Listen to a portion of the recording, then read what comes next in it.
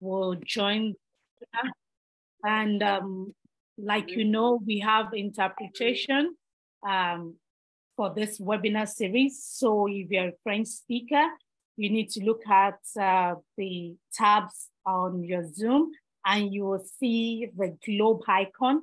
When you see the globe icon, click on English, which is the main uh, language. And then if you are an English speaker, if you're a French speaker, then you click on French and then you hear the interpretation uh, directly uh, on in French. And I would like to say good morning to all our speakers. Thank you for joining this morning. Thank you for coming out to come and share with us uh, from your experience. We are very happy that you are here. This is the fifth webinar. Wow, um, that's it's a long time that we have spent together in this series, and uh, we are glad that uh, gradually it's coming to an end. This uh, week, uh, we're looking at how PGS groups organize uh, for market and integrity of production. So we're trying to figure and trying to look at how the market is being put together. How do these PGS groups, how do they start forming market?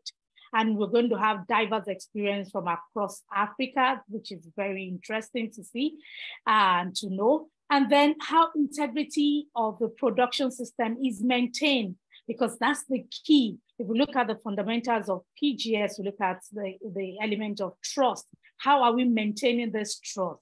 We're going to hear from all our panelists today and how they have been looking and maintaining the integrity of production and making sure that it is consistent. So to start with this morning, uh, we're going to uh, invite uh, and uh, who will be speaking to us from the South African experience. She's going to introduce uh, um, herself with a colleague. So Andrew, uh, please feel free to introduce yourself and please uh, share your slide. And also please everyone, uh, as you're joining, kindly introduce yourself in the chat, uh, where you come from and uh, your country where you come from and who you are, so that we can have a flow of everybody.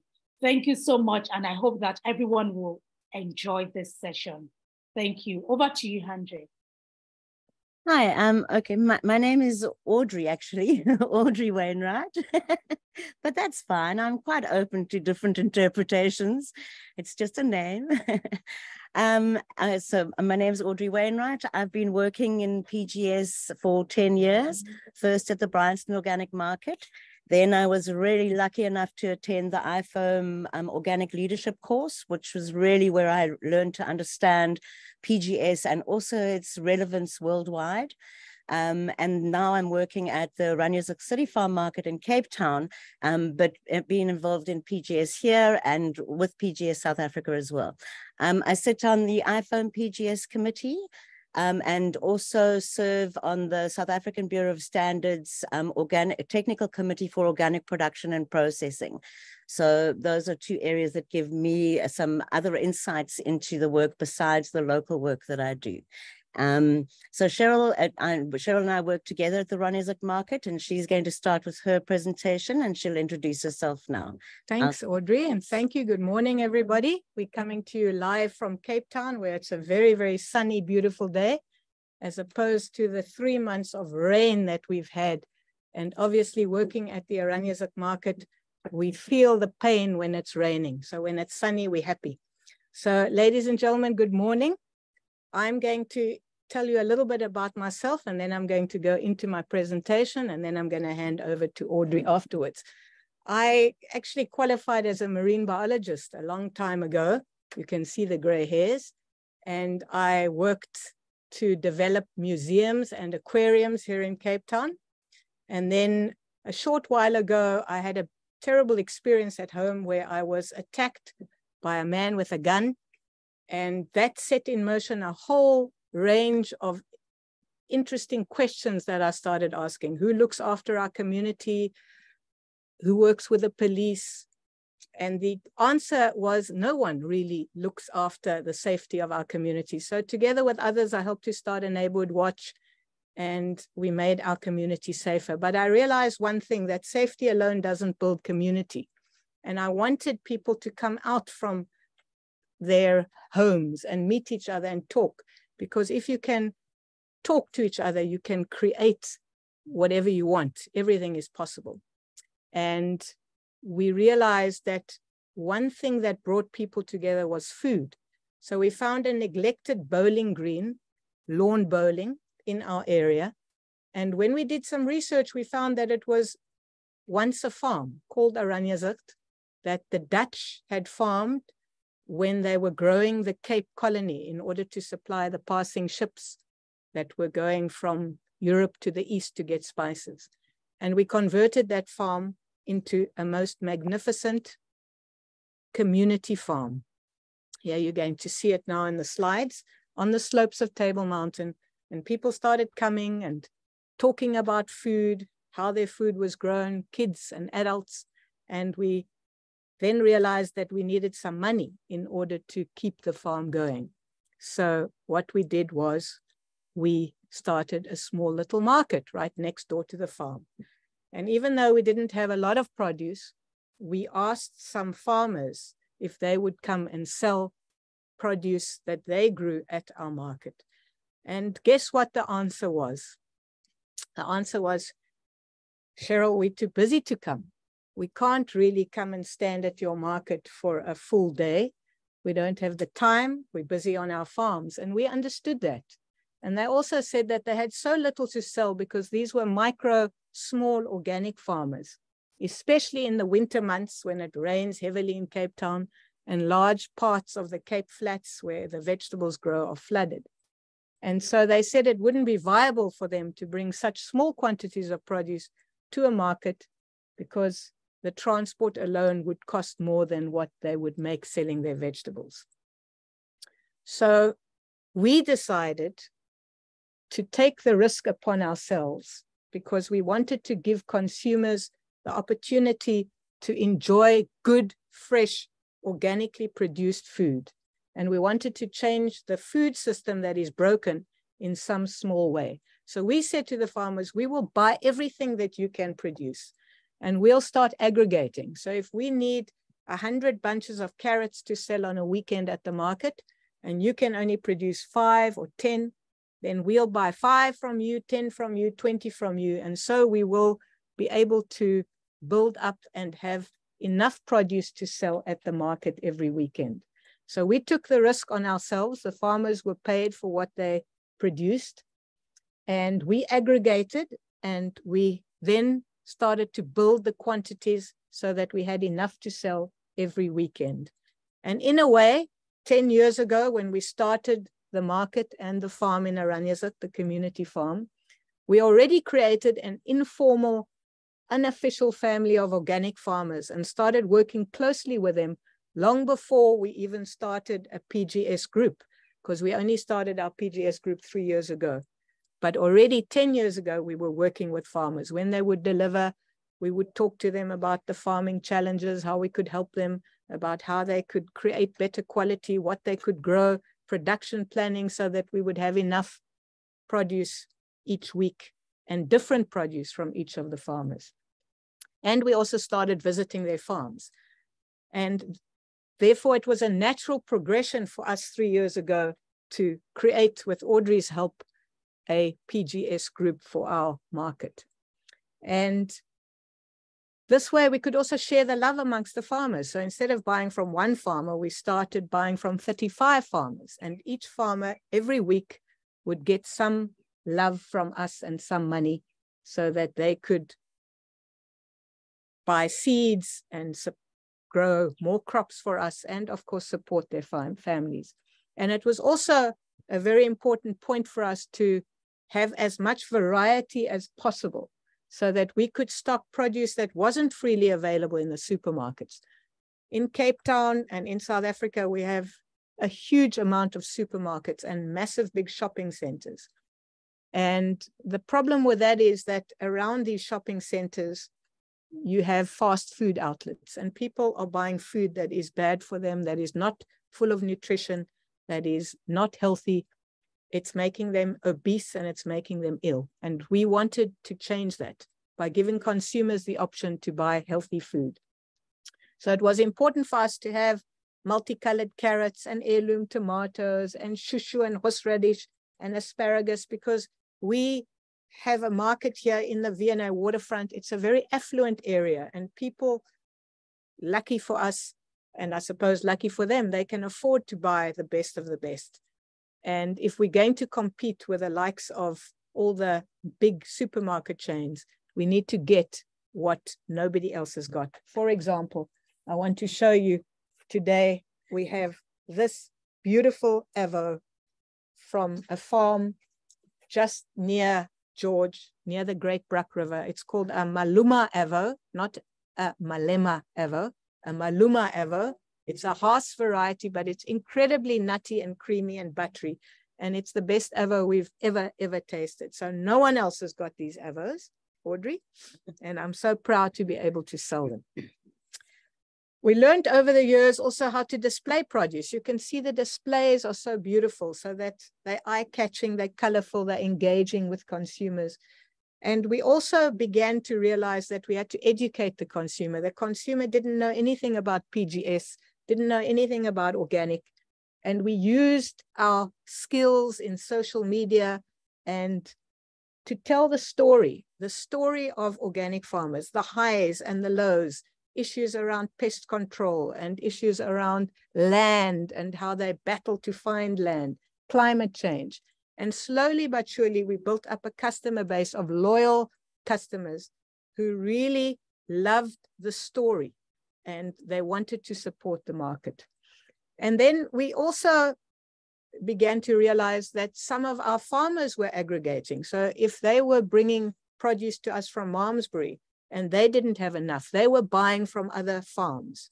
And we thought that that was a good thing because it would make the trip viable. But then we also shared with them the need for those farms that they were aggregating from to be PGS certified. And in that way, we spread our net and we started getting more and more farms and farmers coming to us to say that they wanted to be certified under the PGS banner. Now, our, our original vision at the Oranjezicht City Farm, which was a non-profit, by the way, and in 2017, we converted the market to a for-profit company. But our original vision in the non-profit, which still exists and still farms and is under a trust, was to convert many bowling greens into a bowl of greens, to literally create urban community farms all over South Africa and especially the Western Cape.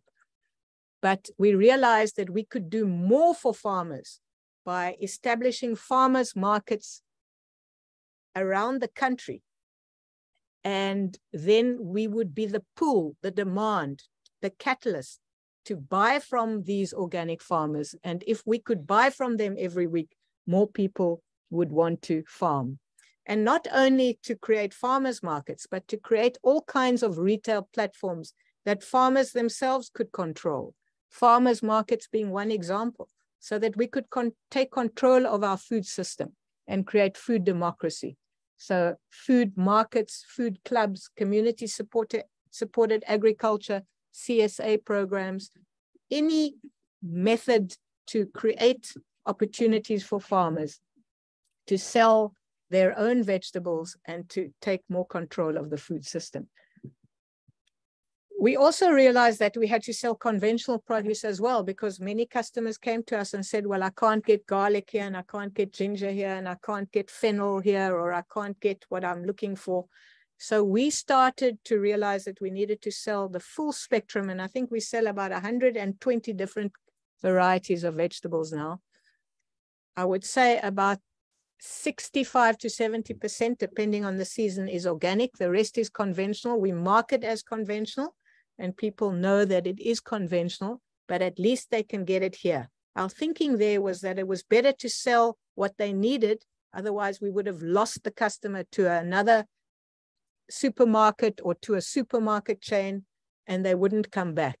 And then slowly work with our farmers to begin to produce those varieties of vegetables that were currently not produced organically. So this slide really talks to the relationship between farmers and farmers markets, and Audrey is going to expand on that. But essentially, farmers are critical to a successful farmers market. If you don't have farmers, even if you're buying the produce from them and displaying it yourself, if you don't have a trusted relationship, then you're not going to have a successful farmers market. So it's about a foundation that is built on mutual support and collaboration. It's really the bridge that connects agriculture to the local community. You foster a sense of food security and sustainability. And it's that personal connection between farmers and they are the people who grow our food and the people who enjoy eating it. And it stimulates local economies. It uh, the money stays in the neighborhood where it is spent, as opposed to going into a supermarket chain where the profits are sent offshore to shareholders. And more than that, what this PGS certification group does is that it is a platform for continuous learning. So once you form a PGS group, the farmers come, they deliver, you have meetings, and at the end of the day, it facilitates continuous learning. There are workshops, there are online um, programs and modules, there are all kinds of lessons and learnings that the farmers experience through the PGS group. We've just had a nine module online course that uh, we developed on how to establish a farmer's market. And if any of you want to enjoy those presentations, they are online. You can ask um, the organic sector organization for those particular links later. So we also realized that we started, we needed to start working with our farmers in terms of production planning so that we would have enough produce year round and that not all the farmers that we were buying from, from would produce the same varieties and cultivars. So we started to look at how we could meet market demand, how we could production plan with our farmers, at what prices they could sell so that they could have high enough margins to make a profit, but that we also could make a profit when we sold their produce here at the market. So meeting market demand was important, maximizing sales were important, and also production planning is, is really about soil health. So we worked very hard with our farmers in terms of how they could improve the health of their soil. Then moving on, we also realized the importance of customer education because that drives demand for PGS certification. So if you want your PGS group to do well, you've got to be able to sell the produce that the farmers are creating and producing, and that's got to grow. So it's about awareness. They don't understand PGS. How do you create awareness? You have all kinds of awareness days. I think that Audrey was on World Organic Day, September the 22nd, where we put up posters. We had our farmers here. We had a lovely competition where if you could identify all those crops on the slide in the middle top, then you would win prizes. We talked about the standards. We talked about product differentiation, that PGS products, they are set apart from conventional product that is sold by our competitors. Tastier, more nutritious, more delicious. We talked about trust and credibility, that customer education, if they understand the rigorous standards and the, the verification process involved in PGS certification, they start building trust with the farmers market and with the people who are selling the produce. And then also just new kinds of heirloom vegetables like herenboontjies and sour figs and rooibos tea and how it's produced by organic farmers builds an incredible loyalty amongst your customer base. Consumer confidence, very important, that they begin to trust uh, the verification process and they begin to learn about the origin and quality, and that leads to increased demand. Marketing and promotion, telling the stories of the farmers. If you go onto our Instagram feed, OZC Farm, you will see that we are continually telling stories of our farmers, and people really love that because somehow or another, traditional news media don't report well on agriculture and they don't tell the stories, the positive stories, and, and the trials and tribulations of farmers. Here you can see we're taking down names for the next farm visits so that we can invite consumers to farm visits. And they become advocates for PGS organic certification. Those consumers, word of mouth, tell their friends, and soon, before you know it, you've got 12,000 people coming to a market like ours on the weekend. So here you can see World Organic Day. We even had a quiz. That's farmer Roger Isaacs, who farms at a school in Athlone.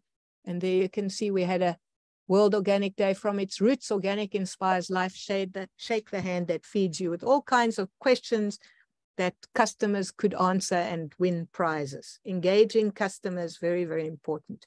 So to end off, before I hand over to Audrey, I thought I'd end off with a quote by Vandana Shiva. I'm sure many of you in Ghana know who she is, an Indian food activist. We must occupy the food system to create food democracy. What Shiva is expressing is a call to action for people to take back control and participate in the food system themselves.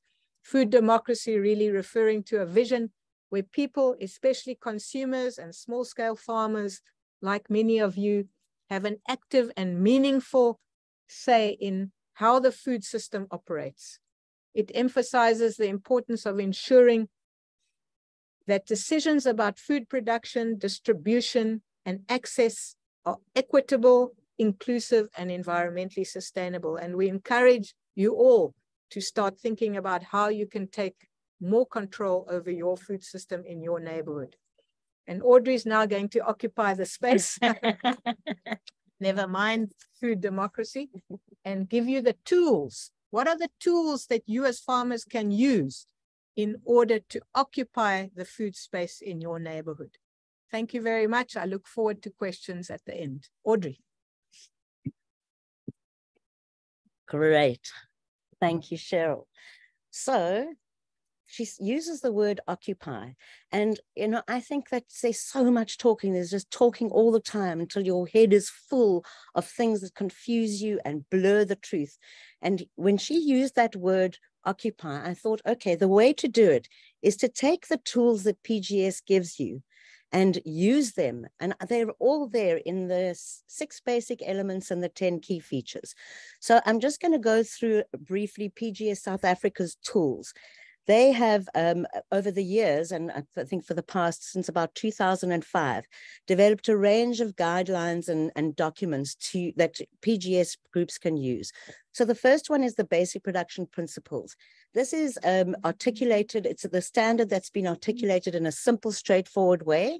Um, it's based on a recognized standard. In our case, it's the SAOSO standard. Mm-hmm. Um, other groups like the Demeter PGS will use the Demeter standard, and groups can also create their own standards, but it needs to be internationally recognized.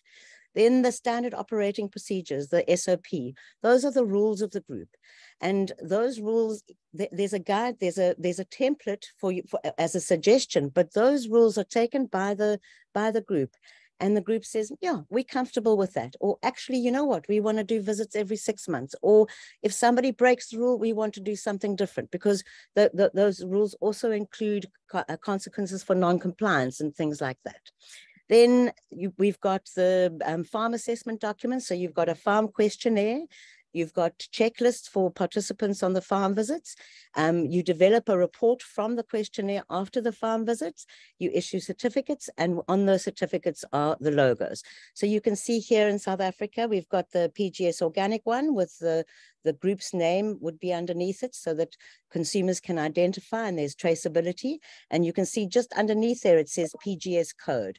So that's something that will be perhaps taken on by Matt later on in the, these presentations. And there's an organic one and an organic in conversion. And then PGS South Africa, because they need to look after the integrity of all of the PGS groups in the country, they also have reporting templates where the, the groups can um, report to PGS South Africa. And if PGS South Africa then see from those reports that a group needs some guidance or some support, then they, they can respond um, effectively to that. So I just wanted to point out that it's all there. Those, these tools for your traceability and for your integrity of your PGS system are all in the six basic elements and the 10 key features. So this slide shows the 10 key features.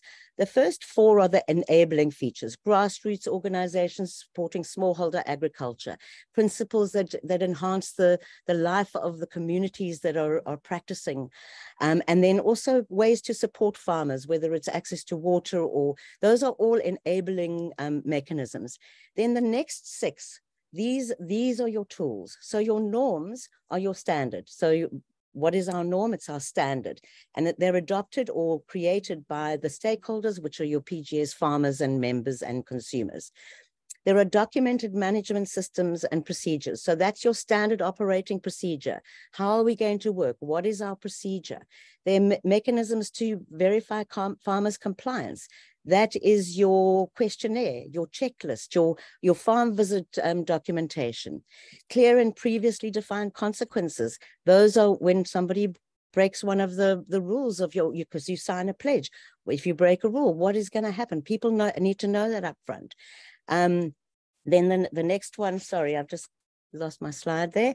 Um, the farmer's pledge, um, it can be part of the SOPs, but it doesn't have to be. It can also be like we did some training out where where Matt's is near Aikenhoek, and um, we were doing training, and I asked the farmers to come up with their own pledge, and that they could use a song or a dance or a work of art or anything that that they wanted to. And they they've created this song in like 15 minutes and with movement and dancing. And that was their pledge and their commitment. So remember not to box in your head around when you look at these key features but they're incredibly helpful because they give you all the tools that you need to occupy the pgs space. And then your seals and labels so that consumers can recognize um, who you are and what you what you mean um, one of the big problems that we have, and I think it's worldwide, but definitely in South Africa, is record keeping. So that's also it's so important with traceability. Like you know, we we're not a third party audit system. We don't like add up all the seeds bought, how many planted, add up the the the one the the harvesting, and do a full financial audit on every single farm we're using the six um, the six basic elements to build the resilience and the integrity of our system. But with with regards to the planting and harvesting, if there is a complaint, we need to be able to go back to the farmer and say, let's look and where where did this complaint come from? Um, what what happened in your process? So one of the most important things to do is to have a production plan because from your production plan where you've got your whole year there, January, February to December, and then you decide what you're going to plant, you could take into account crop rotation. Okay, I'll do the peas over there. If I plant in that bed, this many peas, I should get about that much harvest. And then I'm going to rotate the bed. After that, I'm going to put it in a heavy feeder. And then on the side of it, you can then record because weather and climate and pests will change your perhaps your harvesting, and then you record what you've harvested. So I think that this area needs is for traceability, it's an area that we need to, to really work on. Um, here's a farmer Shadrach from, brilliant farmer from Gauteng, and he uses a diary. So everything he writes in his diary, that he put petrol in his car, that he had to go and get a new exhaust, that he went and collected vegetables from somebody else because their car broke down. So and then his planting and his harvesting records. So he has an entire diary of his life. If you want to interrogate and see why or what or where, you can go to his diary and find the answers. Then in the middle, you know, in there is incredible skills in this country, um, the indigenous knowledge, the traditional farming that there is all over Africa that has just been so sidelined by big agri. Um, the, the skills and the abilities there are incredible, but some of those farmers might not have the writing and the, the, the literacy skills to be able to do all of this planning and, and record keeping in writing. So we're looking at um, farm mapping and there are a couple of places we haven't um, explored it very deeply, but there are a couple of people in South Africa that really are using mat maps very effectively. Um, you can, for your farm visit inspection or your assessment, you can show the exact layout of your farm and what you're growing. You can put an arrow, you can draw pictures of what you're growing, and obviously maybe still need somebody to be able to communicate um, within the PGS group, the reporting to PGS South Africa. And then the last picture I just wanted to show you, that was a, a, a visit to Velota Farm in Philippi that we did two weeks ago. And also, you know, just to, showing the pen and the and the and the soil and the compost. So important that there, there is this um, physical relationship between the farmer and consumers and other farmers. So that's what that represents. But record keeping, very important. Um, then I want to go on to traceability in terms of the aggregation. Cheryl spoke a little bit about that. So the picture there of everybody smiling, um, that is Lentegeur. It is um, a mental hospital for promoting mental health for people who have had some challenges in their life. Um, the, the focus, there was a, a, somebody who started it understanding that the serotonin that comes from when you're working in soil is really good for your mental health. But the government, um, uh, they've got a, uh, the, the hospital is owned by the government and they've got a tender process where if you, to the, all the food that, that goes to supply the hospital um, comes from, out, is outsourced from a, um, with a tender. So the, the farm, the, the farm activities that the patients also work, um, where, where they work, they can't sell that food to their own hospital. So they, they need markets. So that's like one of the challenges of that particular farm.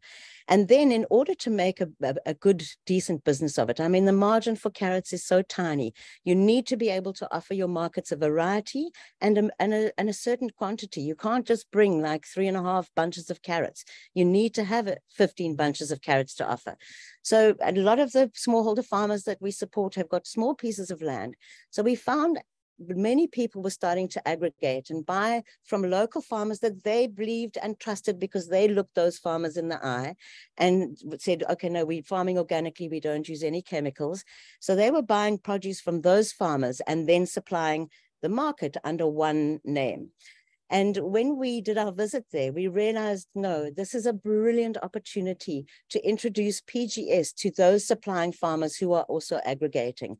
So, you know, it's a very long process to start PGS. It takes some years, firstly, for groups to, to be created and settle and, and understand like all of the aspects and principles that support their integrity but also for, for to, to get farmers to understand what organic agriculture is. It's not just about no chemicals and pesticides. It's about social justice. It's about crop rotation. It's about soil health, millions of things. So it is complex. And that does take time when you're pulling in new farmers into the group. So we have tried and we it is a little bit slow. We're not on top of it. It is around capacity. Always it's around capacity and finding the finances to maybe um, send a team out to five different farms to do an initial first visit to see if those farmers are ready for market. Um, so yeah i mean i think that that the the challenge there is is being able to get those farmers pgs certified and then ensuring that the invoicing system reflects that the, the, these this product is from Lentegeur. these products are from the, the neighboring farm also with the pgs confirmation um, I want to just talk, go back and now a little bit to markets. So, you know, when you've got farmers who are part of a PGS group or not, when they're going to market themselves and they're going to sell to customers, um, they can call themselves organic. They can say, my vegetables here on this table are grown organically. The customer has the right to choose to trust that farmer or not. The customer is right there. There's no second or third party in between. And every individual farmer and every individual consumer has the right to be able to say, this is organic and I accept that this is organic and I'm buying it. Second party, which is PGS, comes in when there is a farmer and there is the consumer and there is a market in between. So that gives the market an incredibly important and, and quite precious role because the market is needs to make the connection between the farmer and the consumer with stories, and Cheryl spoke about the stories earlier, and then the seals, the seals or the logos that identify that that farm has had its assessment. Um, the, uh, the consumers of the pool, remember, Cheryl also mentioned that, is that you, you need farmers with surplus and you need consumers demanding organic produce. So I just want to speak to you about the importance of, of stories in traceability because you're educating at market, you're educating consumers all the time. So we have a, a, a farmer supplying us um, with free range eggs. Now, this is a part of a PGS group called Overberg PGS. Um, they decided because there is an independence of PGS groups where they define their journey and their route and what they want to do. And they decided they needed some kind of identification for their free range eggs because in South Africa, you can't find certified organic feed. And if you want to find GMO free GMO free um, um, animal feed, you have to import it from you have to import it from Zambia. So so they couldn't call it organic, although all the other aspects of this farm were. Um, and when customers come and they say, oh, like what, you know, which eggs should I buy? And what does this mean? I show them the logo and I explain it, what participatory guarantees those systems are. I speak about how what they're based on, that they're based on trust and transparency, that the farmers work together on the farms and they share knowledge when they go on and, and visit each other's farms, that there is a shared vision amongst the group. I, you cannot believe how inspired customers are to hear that there is something more than just some arbitrary piece of paper with some signature and a list. Like, who believes anything that comes your way anymore? But here is something that when you tell a, a customer that this is based on something that you as a person feel inside, it changes. And, you know, most people actually want to do good and they're looking for opportunities. So the customers really do engage in this. I can tell the, the, the, customer that Terry's got her pasture. She's got these one, this one here, and then she rotates them. I describe Terry's hospital that she's got. She takes the chickens out of the of the of the coop when they when they're sick, so that the eggs don't go into that supply. And then she looks after them and makes them better. Um, I, I tell them about the feed and the challenge of feed in South Africa. So these things all, I mean, remember that the consumers that are coming to market are coming to market because they want to be in touch with the people that are making their food, the people, the producers. And this way, through the PGS logo, they can be a little bit closer to that farmer who's who can't come and, and sell their, their, their produce directly. We've got another egg supplier, Farmer Angus. Um, it's a big farm called Spier. And remember about social justice. He gave his chicken uh, in South Africa huge inequality of resources, of education, like, you know, 400 years of, of, of um, colonialism and apartheid. It takes a long time to correct the, those injustices of the past. So here's Farmer Angus, a very wealthy farm. He gave his chicken business to his staff. He sits on the board so that he can do skills transfer. And the, the, the, the, the people that are delivering, the, the delivery guys are also the owners when they come and deliver the Farmer Angus eggs. So I can tell you customers love to hear that discussion as well. They want to talk about inequality. All right, enough about that. Um, the, the other thing I just want to end off with is that never underestimate the six basic elements in terms of your integrity and in terms of your um, traceability. So the participation in a PGS group is essential. The, if you don't have that participation, you can't actually run a functioning um, PGS group because it is the oversight of other farmers what, looking to see what's happening on other farms. It's the oversight of farmers delivering into um, one market and speaking to each other and saying, "Oh, how come you've got this? I didn't know it was in season." You know, a little bit. It's a they call it like a social control, but it's more like a social support, really, to identify where there might be issues that are happening in your group. And trust, you know, learning to be trustworthy is the first step. And once you are trustworthy yourself, then you can learn to trust other people. And there's nothing like looking in a farmer's eyes on a farm visit and hearing the reasons why that farmer's choosing organic. There was one visit I went to, you know, the farmer was a little bit removed. And I started walked a little bit away with, with from the group with him and I chatted to him. And, and I questioned him and he turned to me and his eyes flashed. He said, I will never put another um, chemical food, chemically grown food in my, my stomach because I have half an intestine. So, I mean, you know, you get those stories and you see the passion and the commitment in people's eyes. And then that learning process, gee, we have to share what we know. We don't have time for generations to learn from the beginning. We have to share as fast as we can what we know. And then horizontal, so important for uh, traceability, transparency, and integrity that that must be a flat structure. You can't have one farmer dominating the group. You can't have one market outlet dominating the group.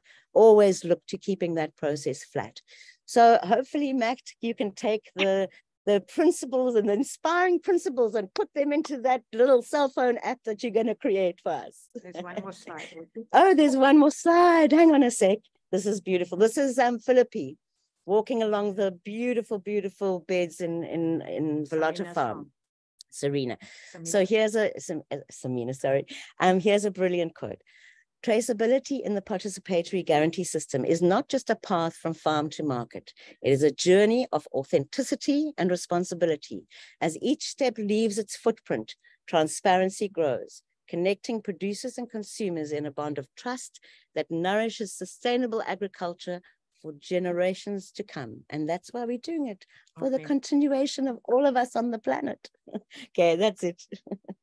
Thank you, thank you so much. It's so, so difficult for me to stop you because the stories, uh, I mean, the words that were coming from you are so profound. And um, I tell you, uh, when someone has a wealth of knowledge in a particular field, it's difficult to stop the person while the person is speaking. Thank you I'm so sorry, much. What happened wrong? and some of the things that were so profound for me while both of you were speaking was how the market started. You know, many times we wait for projects to start to market for us, and um, this was so profound. Like uh, the, the, the garden was there, the farm was there, and then you saw the need to sell, and then you started the market even without PGS. And later on, PGS came because now people are just calling PGS uh, without doing the fundamentals that needs to be done before PGS is being formed.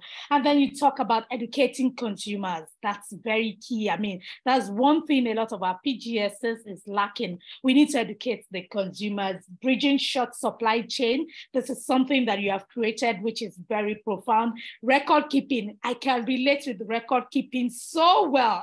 I I tell you, it's one of the big issues we have in Ghana too. Farmers keeping record detailed records of everything they do. It's it's a big problem. Uh, thank you so much. Without wasting time, I'm just going to allow Matthew to jump into this and uh, dive into the tools that we need to keep us uh, going. Thank you so much. Matthew, over to you. Thank you very much. Um, yeah, great presentation, Audrey and Cheryl. You know, uh, really giving the, the feeling of PGS and why it's so important around redesigning food systems for Africa, you know, and I think um, as we step into the world of technology, you know, we know it's here, and and seeing how that space of technology can blend into that real participation and family that's developed around PGS to make sure that the integrity of the system is is really at the forefront of that. Um, trust, you know, as, as was iterated in the previous presentation, is really at the at the main purpose behind PGS is really giving the consumers the trust in the claims. And as we know, our food system in Africa, South Africa, um, and this is the context of our presentation here, uh, is a very unequal one. We see a lot of extraction, the long supply chains are failing us, and we need to rapidly localize. But in order for us to rapidly localize, we need to get organized and we need to know what's available from a farmer, what's what's required at a market level, and how we can all participate effectively in a system that brings a new decentralized food system into firm vision. Um, so yeah, we're just going to be talking a little bit about the, the space that we're occupying in South Africa, particularly around organic 3.0. And that um, terminology is, is yeah being pushed by IFOAM, and it's really taking organic agriculture out the periphery and making it um, a mainstream word, you know, but less focused on on export. And I think this is the big thing that that we're all grappling with is how to really create healthy local food systems that provide for farmers, the people, and the environment, most importantly. So what we're trying to achieve here, and, and we're getting quite close, it's often quite tricky to fund innovation like this. Um, you know, digitization of value chains, uh, we've been trying for a couple of years to get it funded, and it often goes over funders' heads, especially if they're not philanthropic. But um, you know, this is really the the space that we're looking to to bring right. Is is this six step process that we outline on this poster, um, and and really providing traceability and record keeping for these six steps. So you would start at the annual farm visit, and Audrey was sharing some pictures there about some amazing farms that are supplying Oranjezicht. And, and this is happening more and more regularly, not only in South Africa, but as PGS grows on the continent. So the annual farm visit is really the heartbeat of it. And, and issuing that farm assessment report can often be quite a lengthy process, especially if the practitioners are busy. Um, and what we want to aim to achieve is to digitize that process. Make sure that uh, once the farm audit has been complete, that that farm assessment report is available as quickly as possible. Um, that's also linked to the PGS group decision. So whether it's organic or in conversion, or it's a, a revisit at a later date, um, all of that is, is part of the record keeping process of the emergence of PGS groups, the farmers um, growing in their, their knowledge. And the more farmers that we see certified, the better and more efficient our database is going to have to be. So this is kind of what we're preempting and, and aiming to address those challenges as we as we get there. So the, the farm certification and issuing those reports is, is critical um, because we need to be able to track who needs um, an updated certification and who's next, planning the pipeline out for all of the assessors and developing capacity in each province to be able to address the, the huge demand that, that PGS is, is growing with. Getting produce to market, it, the logistics is often very challenging, as Cheryl outlined. That aggregation model um, and keeping the integrity within the PGS value chain, knowing that most of the aggregators at this stage are also aggregating conventional produce. So we've got to make sure that, especially in an aggregated value chain, that the PGS system is intact um, and this is really what we're doing. So providing that, the true assurance to consumers and monitoring the whole process. Slideshow seems to be lagging slightly. So some of the sector challenges that we faced with here is that the food system is, is really not a holistic approach. Um, in South Africa and parts of Africa, we see a huge domination of conventional synthetic agriculture um, with the high use of agrotoxins um, and how that's impacted across the continent, I feel, um, to, to bring about a more equitable food system that is farmer centered. And when we get that right, we unlock around livelihood development. But it often boils down to data. And if we don't have access to the data, to be able to build these alternative food systems, we're almost shooting in the dark. So what we're aiming to achieve is, is to bypass the existing agricultural value chain. Um, and in South Africa, we see it's 80% of the food traded uh, in the retail spaces as well as central markets. And that value chain is not receptive to small and medium holder farmers at all. The price point is not there. Um, you have to be producing monocrops at extreme hectarage to be able to, to make a living from it. Um, and then that's going back into the extraction of the soil and the water, and often for an export market. So we don't see our nutritious organic food being serviced for the local communities. Um, there's also no policy framework that recognizes organic agriculture. So we, we're all operating in a bit of a silo or in a bit of a twilight zone, if you like, where we're not recognized. And, and for that reason, we have to be more organized and more efficient in the way that we bring about the emergence of this new food system. There's no national framework for identification and traceability of agricultural products. We are slowly seeing some movement um, on a policy level around the Agricultural Products Standards Act, which is starting to recognize the importance of organic food in food systems and the potential for the contribution to livelihood development as well as the overall economy. And in essence, you know, there, there's so many of these technology platforms that are hitting market, playing that aggregation role, that market access role, but very little on, on data management and record keeping. And that, that's kind of where we're focusing at the moment. You know, we, we're going to be dovetailing with all the other market access platforms that are being born. But the, the most important thing is getting the supply chain and the PGS groups to be organized. Um, and that's really what we're aiming to achieve through this innovation that we're going to be yeah, bring into market in the next year, I would say. So when we look at uh, harnessing the sustainable agricultural practices, um, there's a number of different components within that.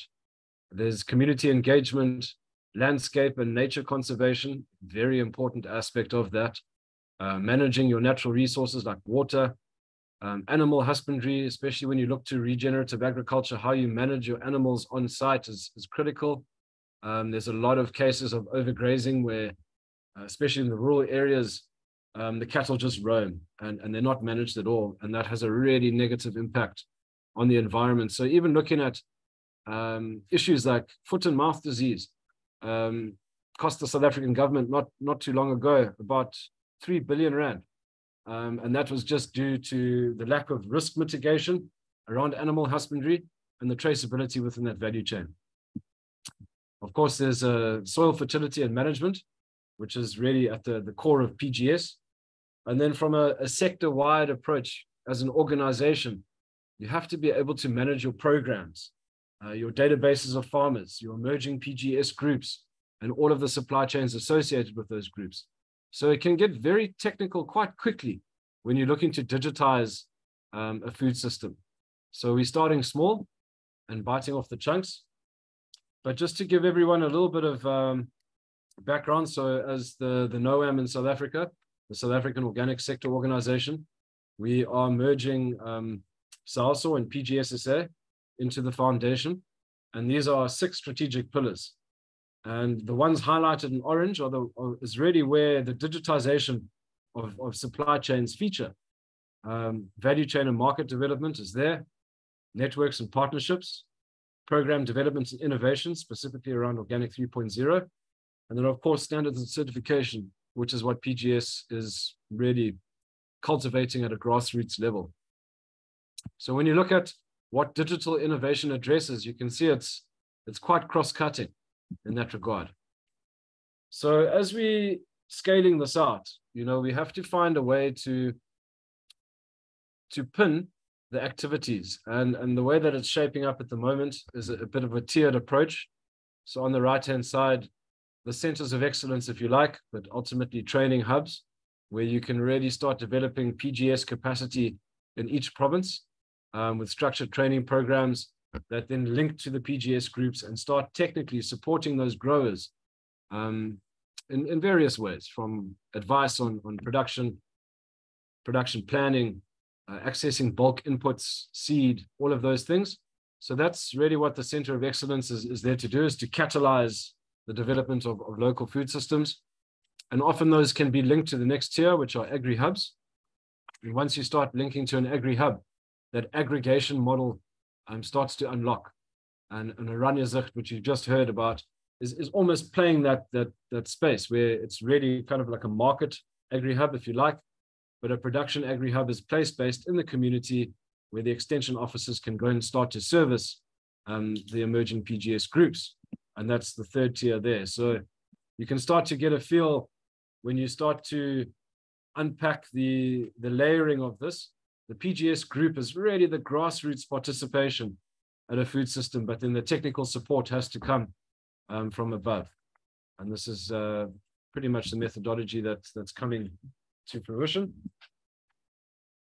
And some of the, the challenges in the ICT space, and ICT stands for Information Communication Technologies, um, is, is obviously the, the size and the complexity of agricultural value chains, especially when you look at um, some of the main commodities which are traded, um, not that we're advocating for commodity farming, but you know there are livelihood opportunities, especially for rural farmers. When you look to non-GMO maize, non-GMO soy, sugar beans, and even hemp, which is an emerging sector.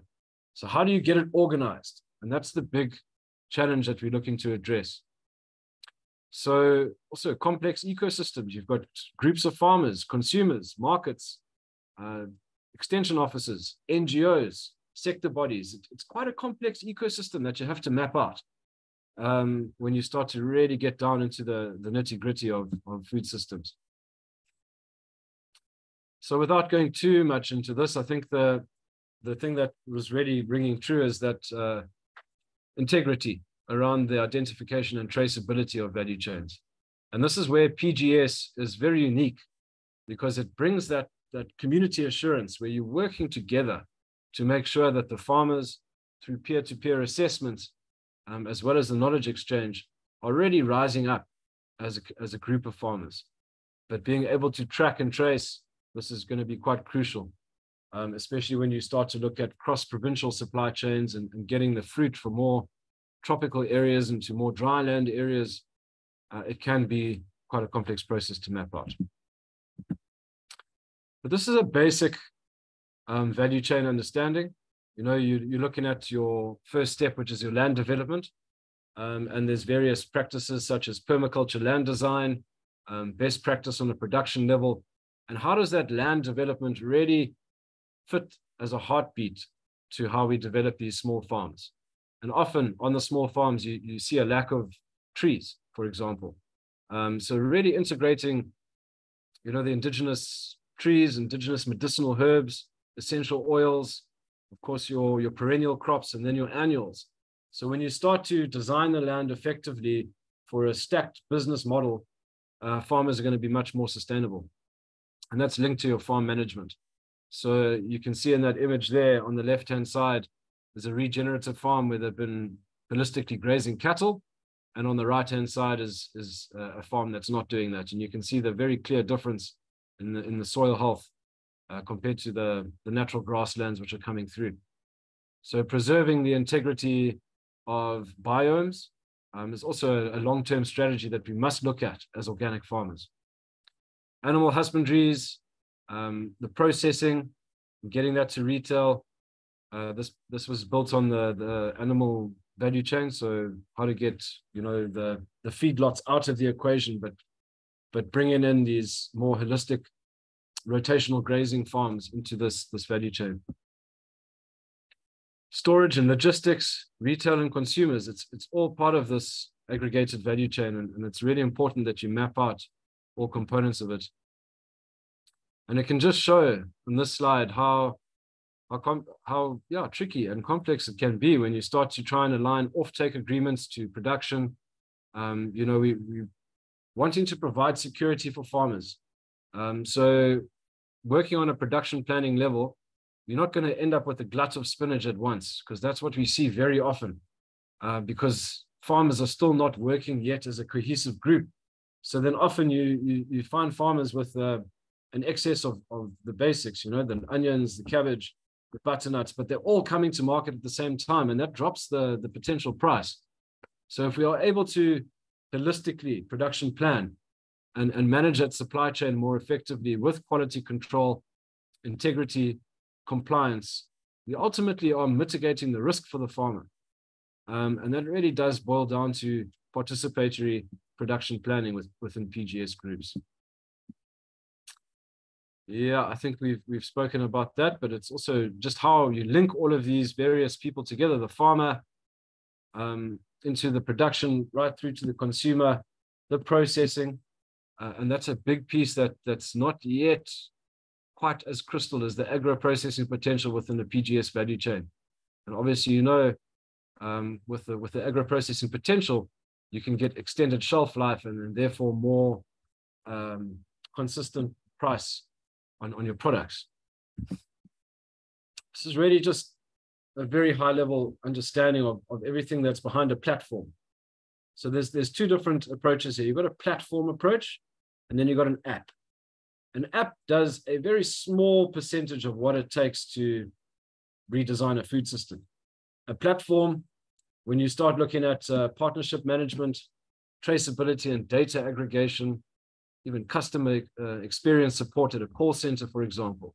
We're getting so many queries on, on WhatsApp uh, that come to us, and it's really tough to keep up with that. So, you know, having a dedicated customer experience and support is pretty critical um, those those market access platforms which are developing across the continent. You know that there's there's one almost coming to to market every month, um, but not necessarily focused on organic or agroecology, which is really where we need to get to. Um, blending in funding opportunities, microfinancing for farmers. Uh, as we see, you know, the microfinancing space is very difficult for farmers to crack because without records, and without developing trust, you, you, you battle to get the loans. especially from the big financing houses like the banks. They, they're generally financing uh, big commodities, macadamia nuts, maize farms, wheat farms, but that's not necessarily our model. So we almost have to develop an entire ecosystem to support small and medium holder farmers uh, with a full turnkey range of services. Um, and then when you get down to the traceability component, there's technologies such as blockchain that can really bring that to reality. We're in the process of developing a, a basic app at the moment, a proof of concept. Uh, we managed to, to acquire the, the funding to do that, so we, are quite excited to get this going. Um, but it's framed around this sustainable agroecology value chain, which we've been working on for, for some time. But um, a very basic user interface for the farmer, keeping it quite simple on the on the front end, but the back end would have the complexity as I've just um, shown you on the previous slide. And we've touched on this, but it's really having a handle on all of these various elements, um, especially around the market. And we don't necessarily want to take PGS into formal markets such as Woolworths or Checkers or Pick n Pay.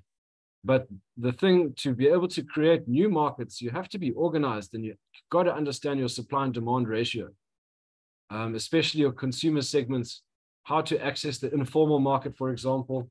You know, these traders that are trading out of um, shipping containers, those are the guys that we want to get to. But um, it's often very complex on a logistics level to be able to connect the dots.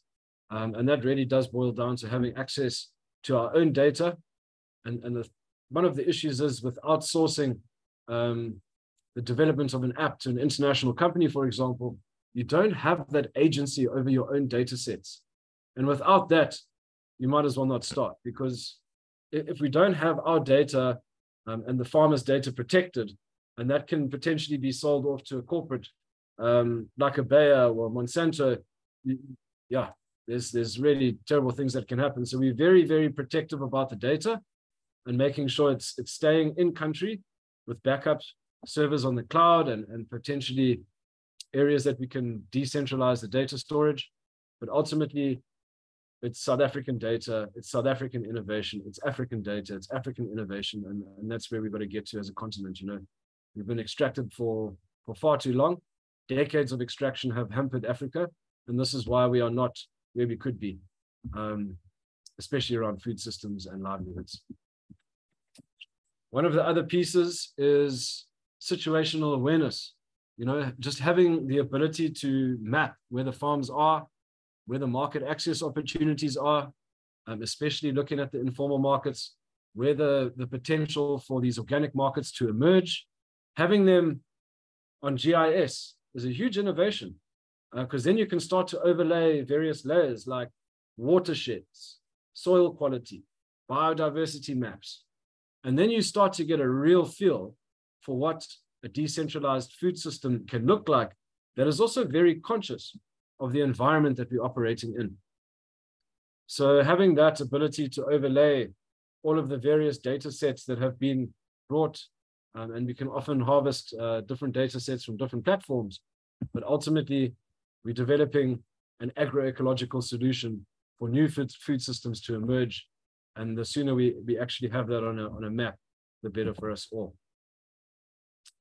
So we, we're piloting this with a company called 4 Hour Smart, um, looking at the fourth industrial revolution. And I know that might uh, make the hairs of our neck stand up.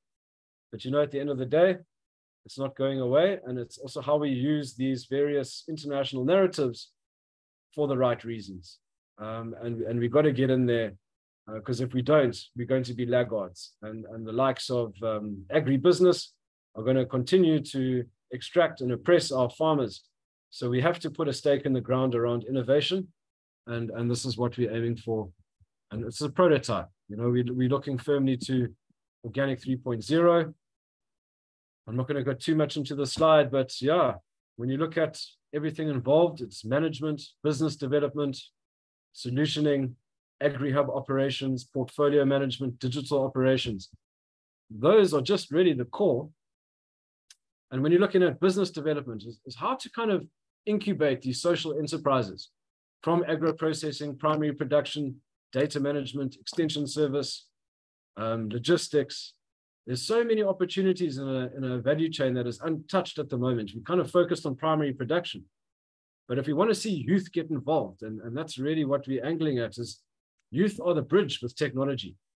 And if we can give youth an opportunity to not only earn an income, but develop their livelihoods through various training programs, and, and then to be able to place them on, on farms where they can do their practical experience, that's when we start to see the capacity emerge on a provincial and national level.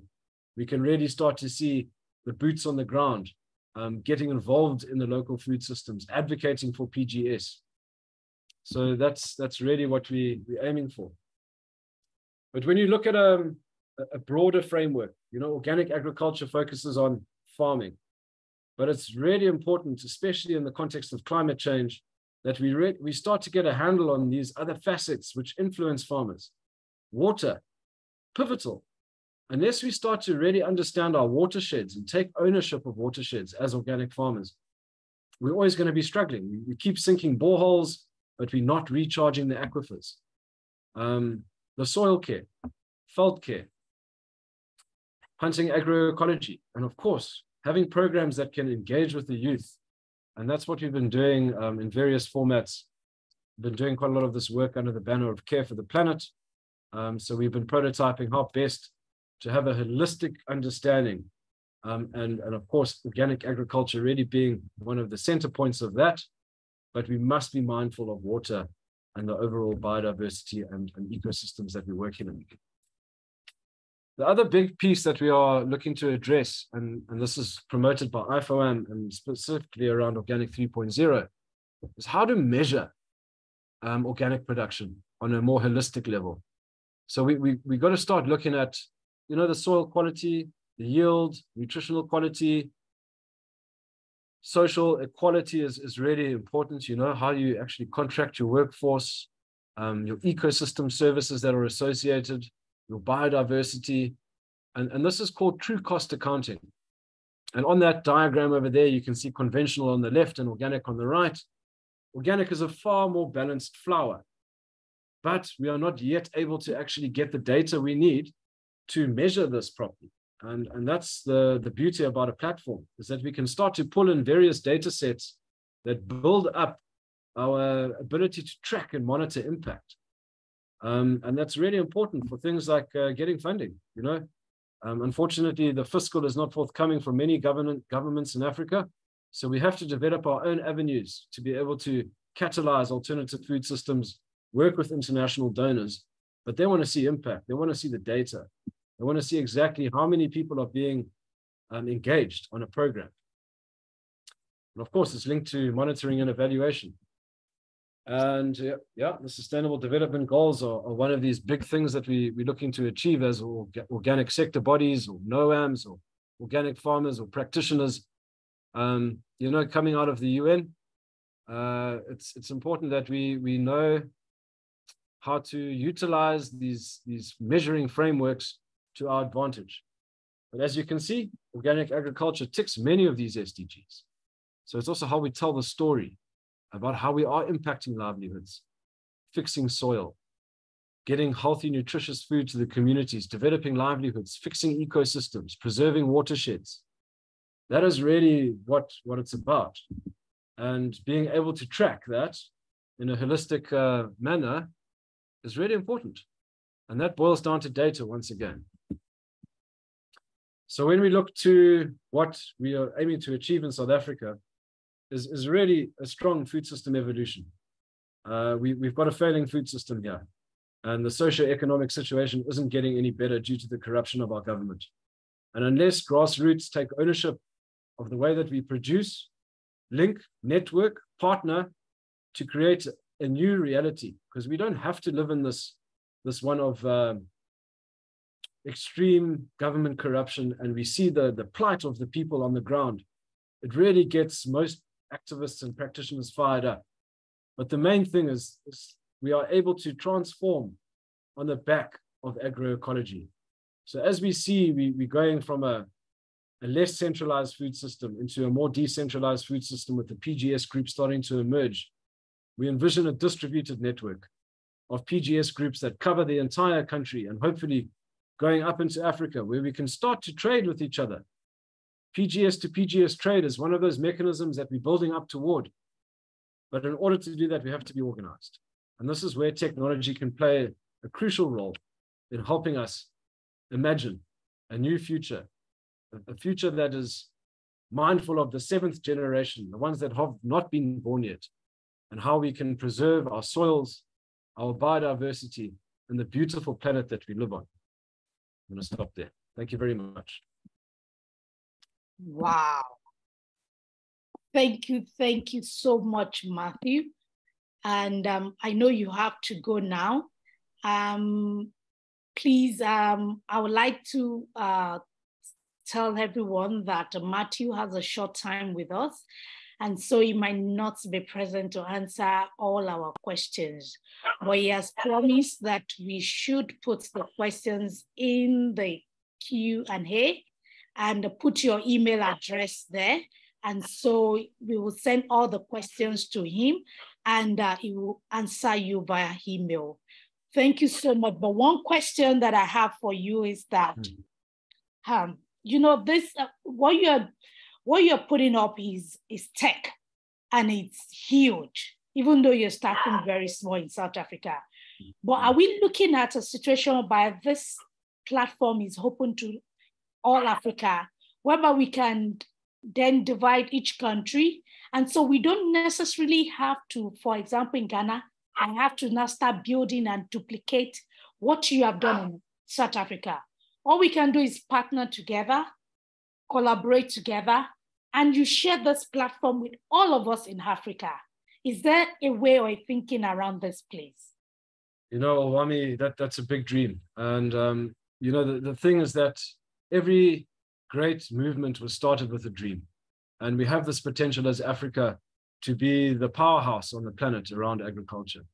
So, of course, we're designing this to scale. We're not going to be keeping it um, specifically for South Africa, and we're very open to partnerships and collaboration.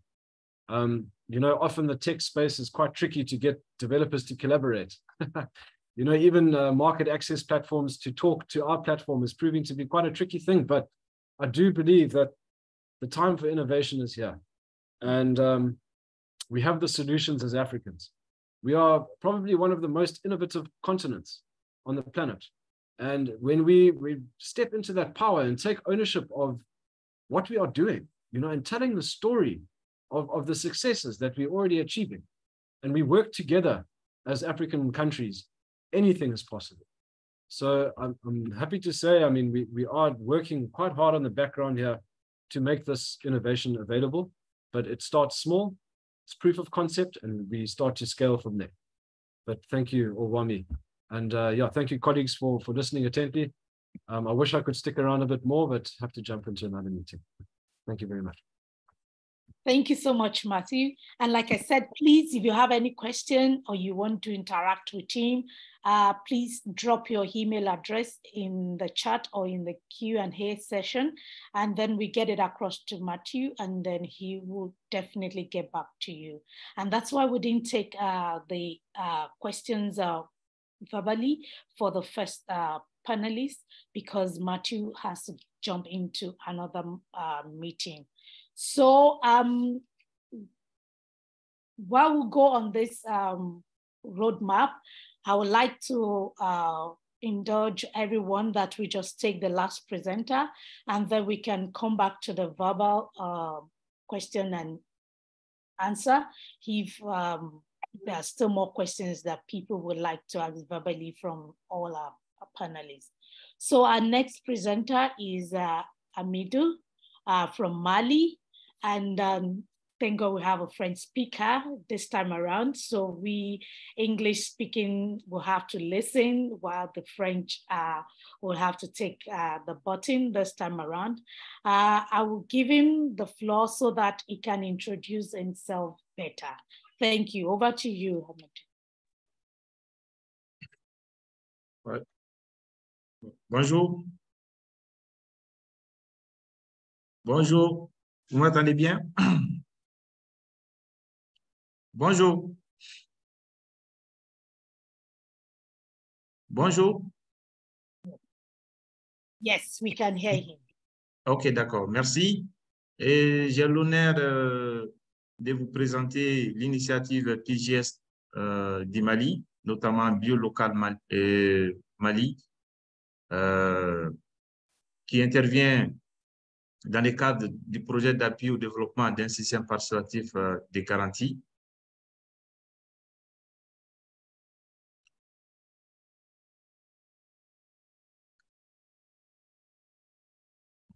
Attendez, voilà, ça c'est OK.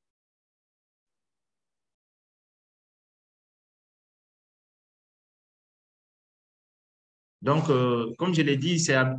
Amidou Adjawara, président de l'ONG AMSD, et maître formateur en agriculture biologique et président du comité national de certification qui coordonne toutes les activités de certification au Mali dans le cadre du label SPG biolocal. Et ce projet est soutenu par notre partenaire financier, et et, notamment appelé Sosfin Belgique.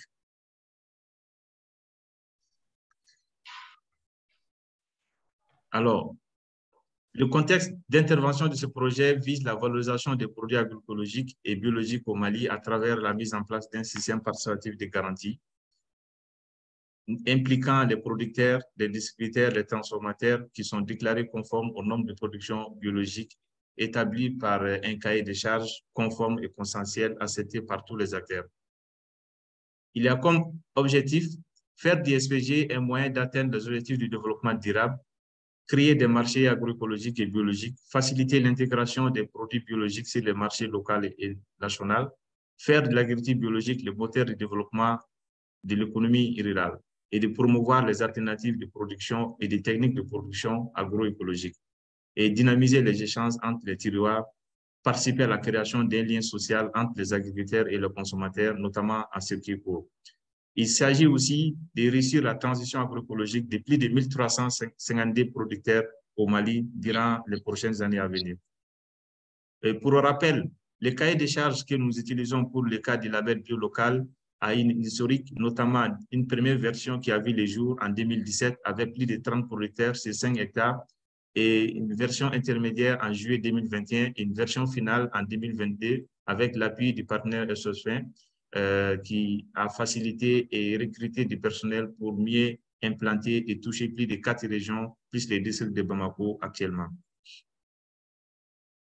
Alors, les acteurs qui sont impliqués dans le processus de certification, puisqu'on le dit, un système participatif euh, a comme gage, quand il est inclusif et participatif. Et nous avons des producteurs individuels ou en coopérative, des consommateurs, des transformateurs, des distributeurs, des instituts de recherche, des professionnels de l'agroécologie, notamment des plateformes, des entreprises d'intrants bio et des fournisseurs, des services techniques, notamment les ministères de l'Agriculture, de l'Environnement et de la Santé, des associations de consommateurs, des agronomes, des étudiants, tous les parties prenantes participent aux dynamiques du processus de certification dans le cadre du SPG bio local.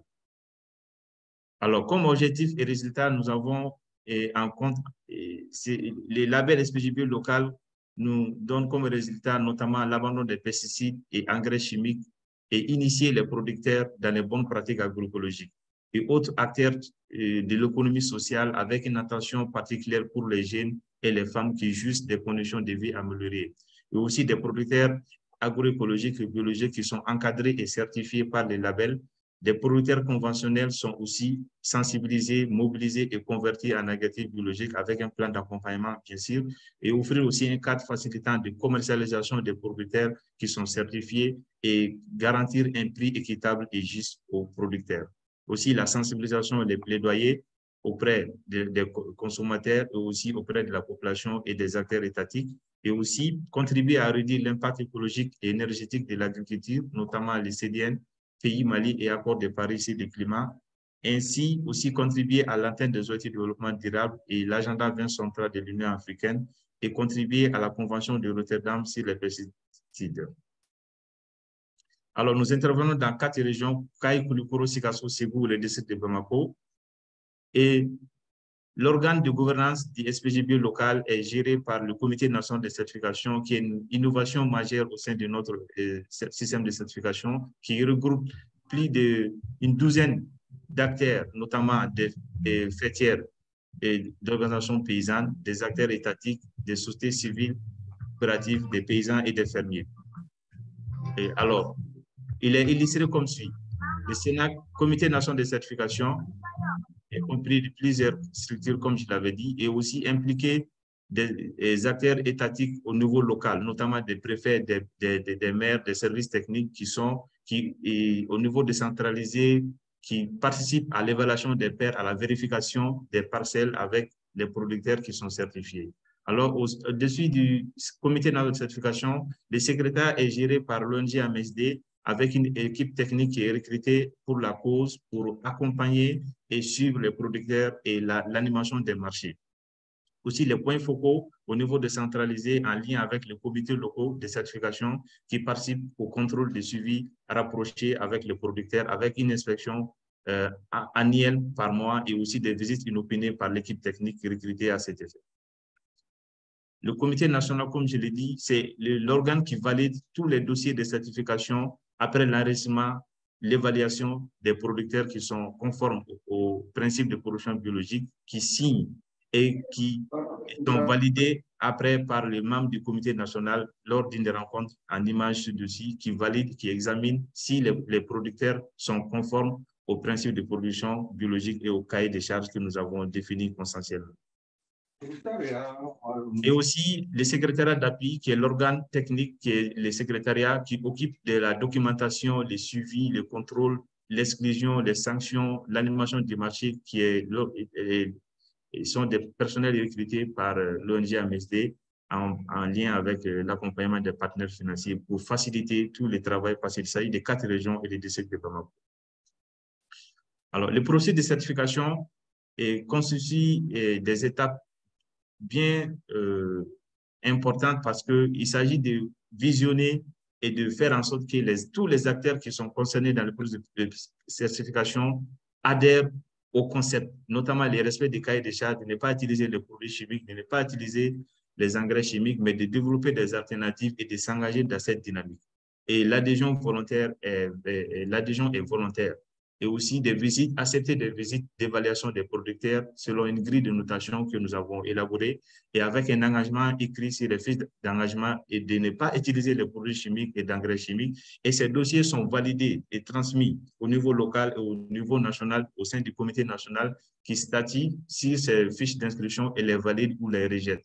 Et aussi des contrôles de conformité sont organisés par l'équipe technique en lien avec les colloques et les élus les services techniques et les sensibilités du village pour eh, traduire leur implication efficace au processus de certification et aussi des séances de démonstration culinaire et de communication des plaidoyers sont organisées au profit de ces acteurs sur toute la chaîne. Et ce qui traduit par des visites, des parcelles, des plaques d'identification avec des numéros de contact du, du secrétariat, notamment de l'ONG et du comité national pour des cas, pour dénoncer des cas de fraude ou euh, de, malveillance ou même d'erreur. Parce que certains peuvent, euh, après certification, utiliser les produits chimiques. Donc, il faut un lien direct entre ces parcelles qui, qui devient une propriété pas, euh, publique, pas seulement des producteurs. Parce que chaque personne qui est intéressée à visiter les, les parcelles sont autorisées au nom du principe des cahiers des charges à aller faire des visites et rendre compte s'il y a des manquements. Parce que euh, le comité national STEL ne peut pas euh, surveiller, mais les consommateurs, les autres acteurs au niveau local peuvent contribuer à faire des dénonçations aussi. Et aussi l'accompagnement de ces formateurs, notamment comment faire des composts, des biopesticides. L'équipe technique euh, composée des agronomes et des ingénieurs facilite avec des modules de formation que nous avons élaborés à cet effet. Et aussi, tout cela est euh, finalisé par la remise d'un certificat et avec une remise officielle des producteurs que nous accompagnons avec des sensibilisations et des actions impliquant les autorités locales et administratives et des services techniques aussi. Alors, par rapport aux acquis de la commercialisation des produits biologiques des SPG bio locales, nous avons organisé plusieurs marchés biologiques, notamment des foires, des, salons, des marchés bio locaux, des, des week-ends bio et des boutiques bio que nous avons aussi qui contribuent à la communication, à, la à communiquer sur la disponibilité des produits auprès des consommateurs et pour faciliter l'identification de nos produits au sein des autres produits, puisque les marchés bio exclusifs ne sont pas aussi nombreux actuellement, mais il s'agit aussi pour nous de développer des marchés physiques pour orienter plus les consommateurs vers ce type de marché, notamment l'identification de nos produits à travers un label, comme vous voyez sur le cas des boutiques et les manques bio avec l'effigie SPG bio local.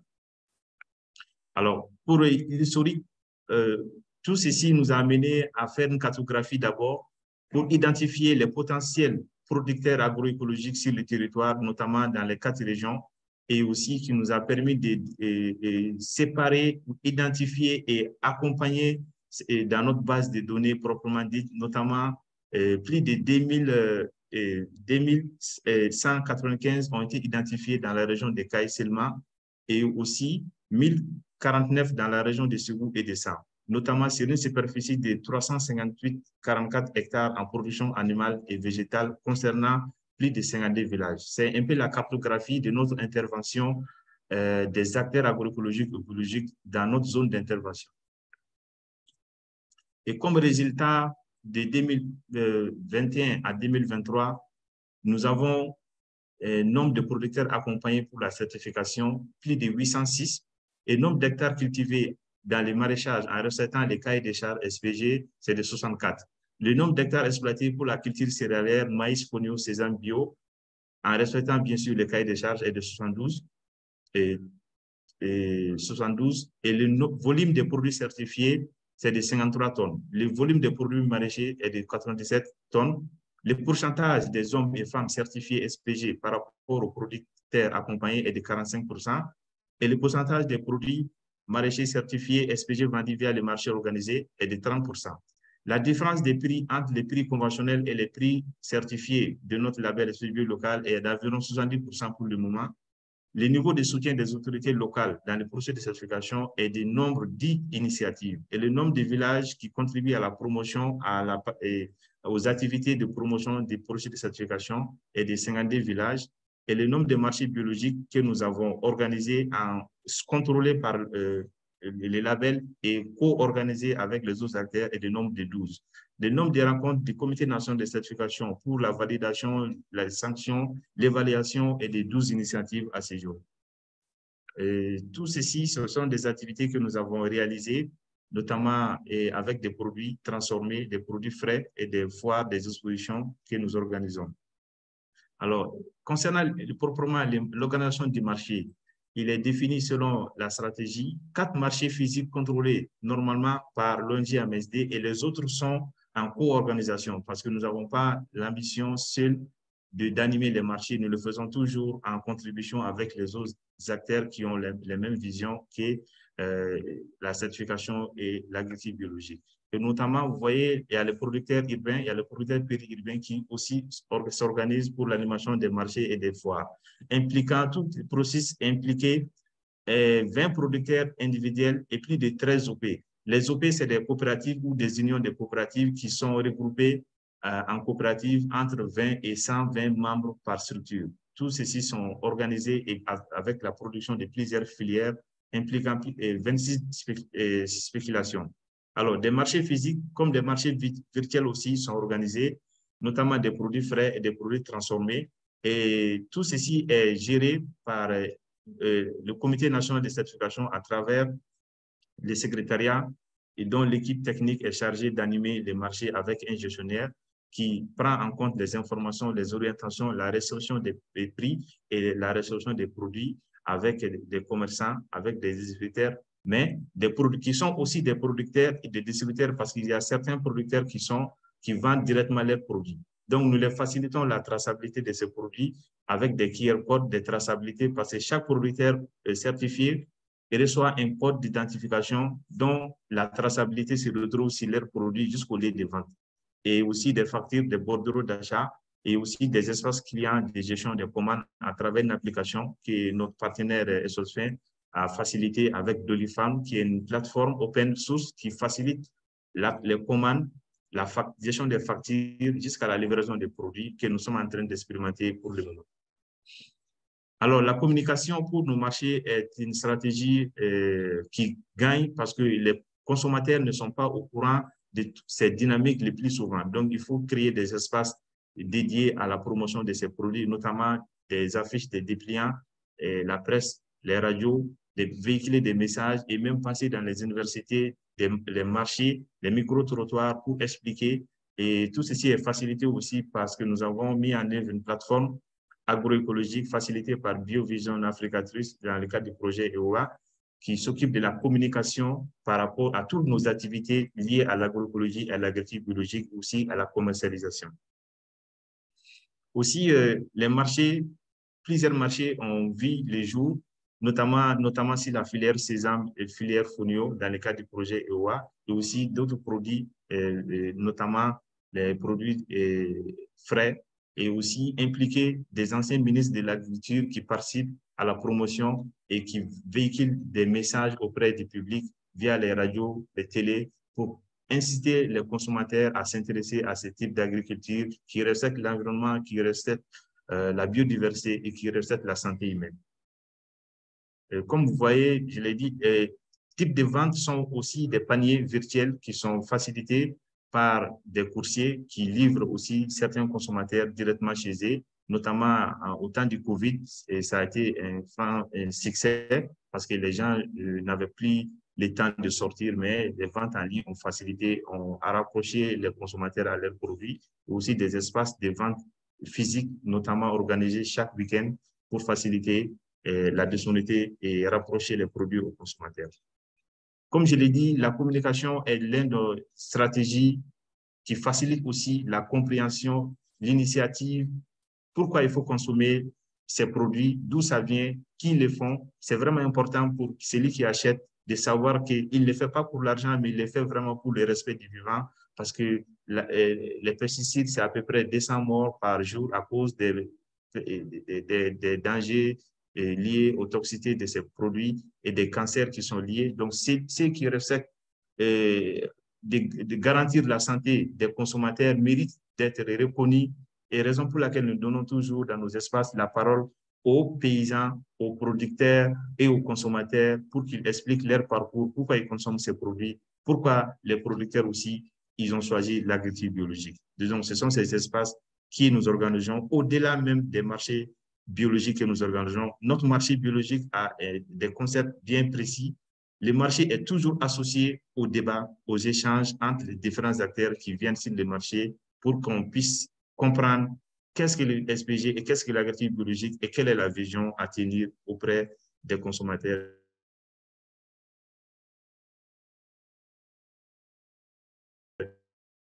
et tous les acteurs. Et aussi, par rapport à la communication, des séances de solaire sont couramment dispensées auprès des populations qui sont à, cette, la certification et qui facilite la compréhension avec des images, des visuels.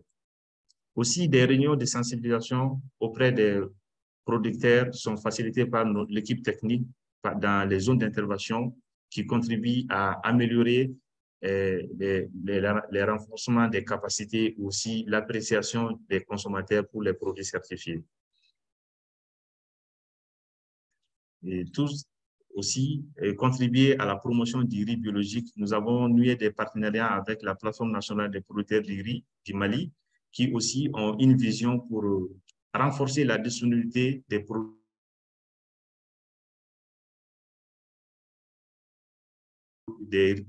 qui facilite aussi euh, la promotion des produits biologiques, notamment certifiés.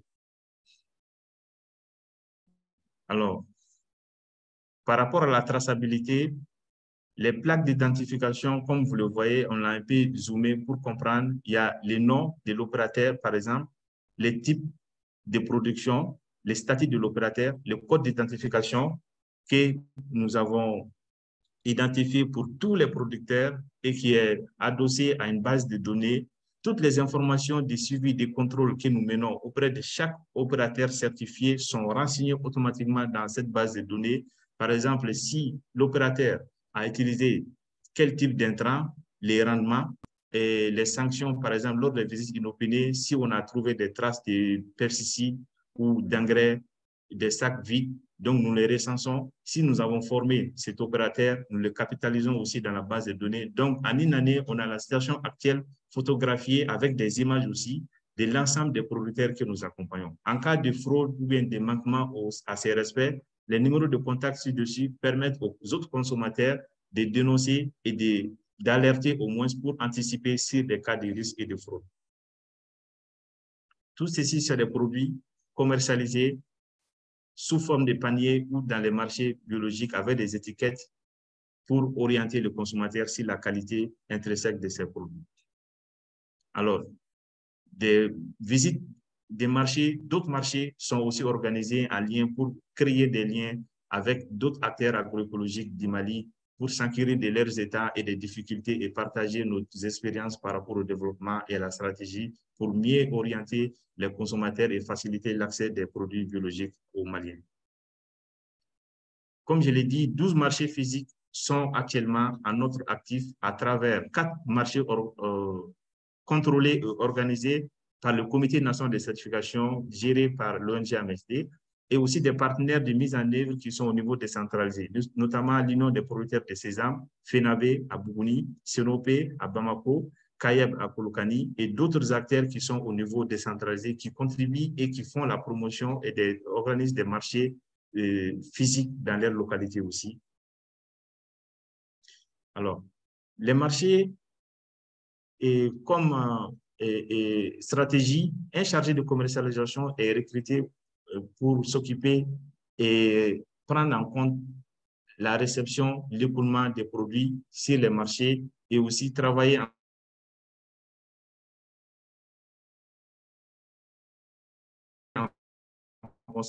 parce que les deux numéros qu'on on communique auprès des consommateurs ou bien de la population, c'est pour recenser les cas des besoins, des difficultés et des recommandations, des conseils de ceux qui l'utilisent. S'il n'y a pas de retour direct entre ceux qui utilisent ou qui sont certifiés, entre nous, tout le temps, ça va contribuer à ralentir ou bien à décourager certains. Raison pour laquelle nous avons vraiment mis l'accent sur ces deux concepts.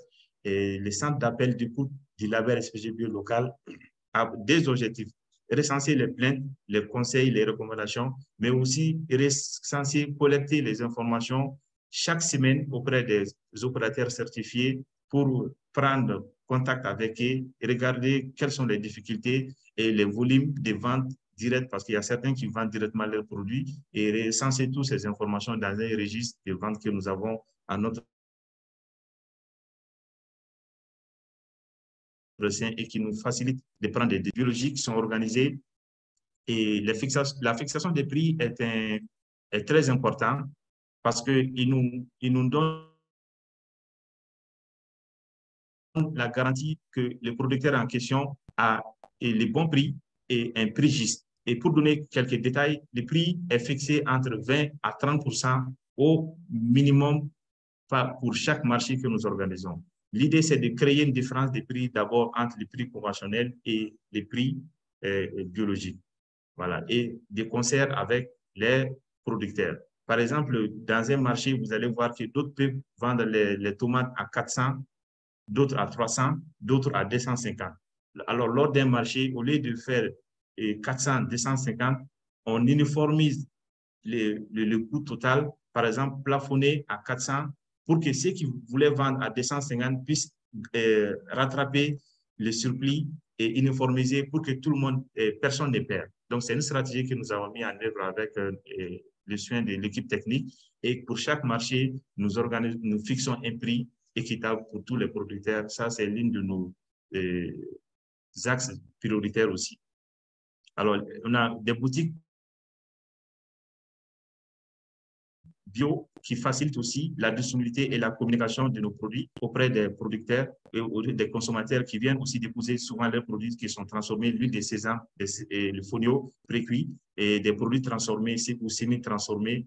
Les produits frais sont disponibles que les week-ends, les samedis et les dimanches. Et une fois par mois, nous organisons un grand marché accessible au grand format avec tous les acteurs pour euh, euh, amorcer la dynamique des marchés agroécologiques en fonction de la disponibilité des consommateurs. Et aussi, les promesses de vente que nous utilisons, c'est des produits bio et locaux moins chers et aussi des produits sains, sans intrants chimiques, sans pesticides et sans engrais, qui garantissent une alimentation saine et plus de santé pour la terre, pour les humains, pour la biodiversité. Parce que sans promesse de vente, il faut garantir ces qualités intrinsèques de nos produits auprès des populations, auprès euh, des consommateurs. C'est vraiment important. Raison pour laquelle nous faisons des publicités, des affiches au grand format pour les, les consommateurs.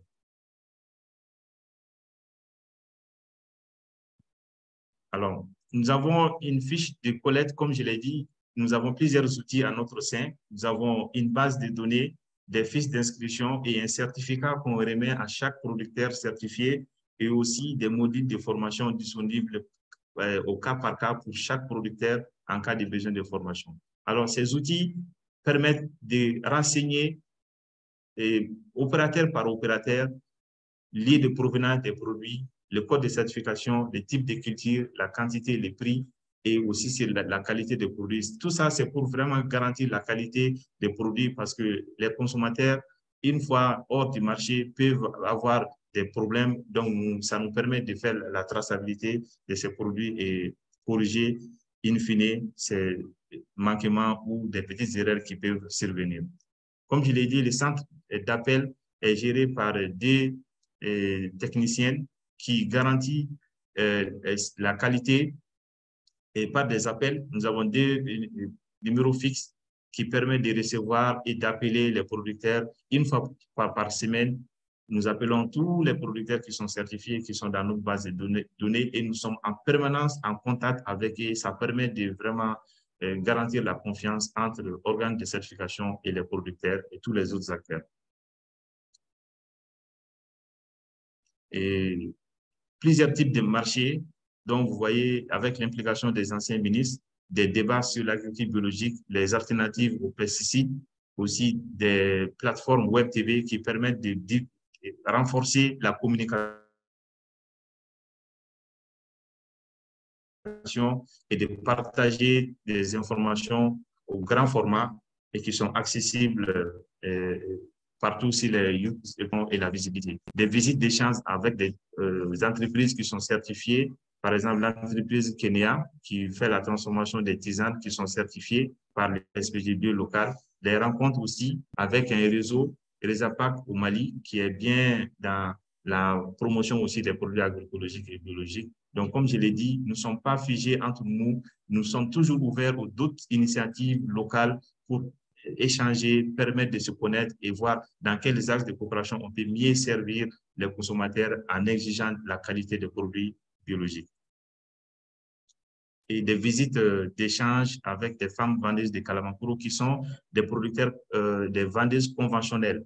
Mais nous, profitons de ces sorties pour les expliquer l'intérêt de faire la promotion des produits agroécologiques et biologiques qui pensent que avec un appui ou bien en installant des marchés physiques proprement aux produits bio pourrait aussi garantir la qualité et insérer ces femmes qui sont disponibles et, et, se sont engagées à quitter le marché conventionnel pour venir dans les marchés euh, biologiques en vendant exclusivement avec des opérateurs certifiés avec des codes et des systèmes de traçabilité que nous avons mis en œuvre pour faciliter ou augmenter le volume de vente de nos produits certifiés. Alors, l'un des qualités aussi, c'est la gouvernance horizontale des SPG avec les collectivités Ici, l'image du maire de Bagnéda avec le producteur de riz qui, qui s'engage à accompagner la dynamique du projet de certification dans sa commune et faire des plaidoyers auprès des autres acteurs. Aussi, euh, on a, le Mali dispose d'un décret sur les projets de labellisation en agriculture biologique avec le ministère de l'Agriculture. Ça, c'était lors d'un atelier que nous avons euh, validé un cahier de charges consensuel propre à l'agriculture biologique et qui, est au, ministère de l'Agriculture, qui va servir aussi de gage pour les acteurs qui vont intervenir dans l'agriculture biologique. Dans notre cas, euh, notre SPG n'est pas isolé. Tout ce que nous faisons, nous le faisons en contribution avec les services techniques de l'État, avec les autres acteurs le ministère de l'Environnement ou le ministère de la Santé, parce que seul, on ne peut pas amorcer cette dynamique de transition agroécologique. Mais avec tous les acteurs, avec tous les fils du pays, nous pouvons euh, gagner le terrain, nous pouvons sensibiliser et garantir la qualité de nos produits et offrir des produits sains, sans danger pour toute la population malienne. C'est ça notre engagement pour euh, euh, ces labels. Et aussi le secrétaire général du ministère de l'Agriculture lors de l'atelier de validation des cahiers de charges euh, agroécologiques et biologiques avec le, ministre, euh, le directeur national de l'agriculture et tous les services techniques et les acteurs de la société civile. Aussi, des ateliers de partage sont organisés avec d'autres acteurs, notamment la plateforme. OK. Euh, aussi, des... I'm sorry to interrupt. You have okay. more minutes. OK. Donc, euh, des ateliers, des rencontres d'échange pour terminer et aussi des partenaires qui nous accompagnent dans la dynamique euh, BioVision, EOA et, et SOSFIN est notre partenaire principal qui accompagne cette dynamique au Mali pour 2022-2026 et aussi d'autres partenaires euh, comme euh, IFOAM, FIBOL, EOA et Agroécologie WebTV qui est une plateforme WebTV. Alors, je vous remercie si j'ai pris un peu trop de temps. Voilà.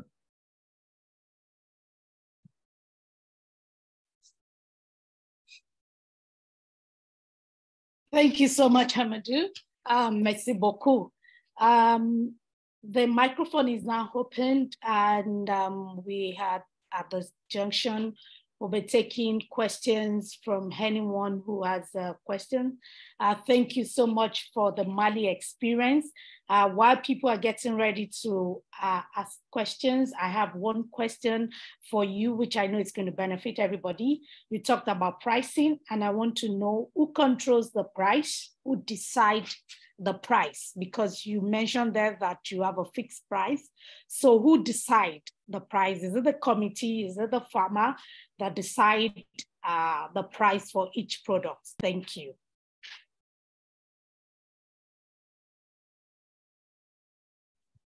La question, les, les prix, c'est pour notre cas, les prix, c'est les producteurs et facilité par l'équipe technique qui encadre, mais il, n'a pas le dernier mot. Le dernier mot revient au producteur.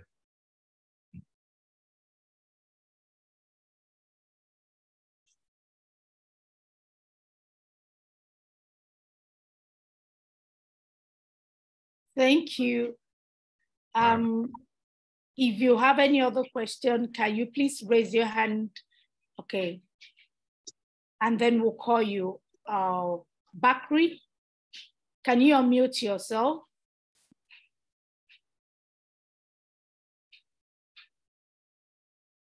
Oui, euh, voilà. Euh, pour moi, ce n'est pas une question, c'est juste contribuer par rapport au prix. Voilà, donc euh, je suis également, euh, je suis l'ingénieur agronome du projet SPG au Mali, voilà, pour la certification des produits agroécologiques.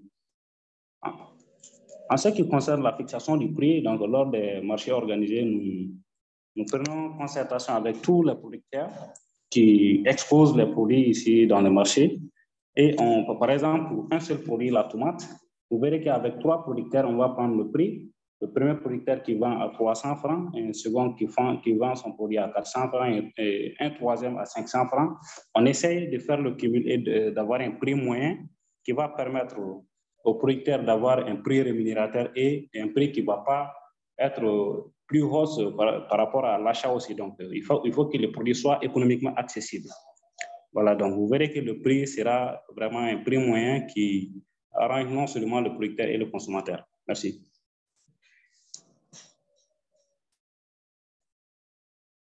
Thank you. Um, the next person will be Gosha. Sorry if I didn't pronounce your name well, but please go yes, for good, it. Yes, good morning, everyone. Uh, I have a question. I want to know how you, uh, the farmers pay for the contribution for the PGS to get a certificate of PGS, how it costs and how you calculate the price. Thank you.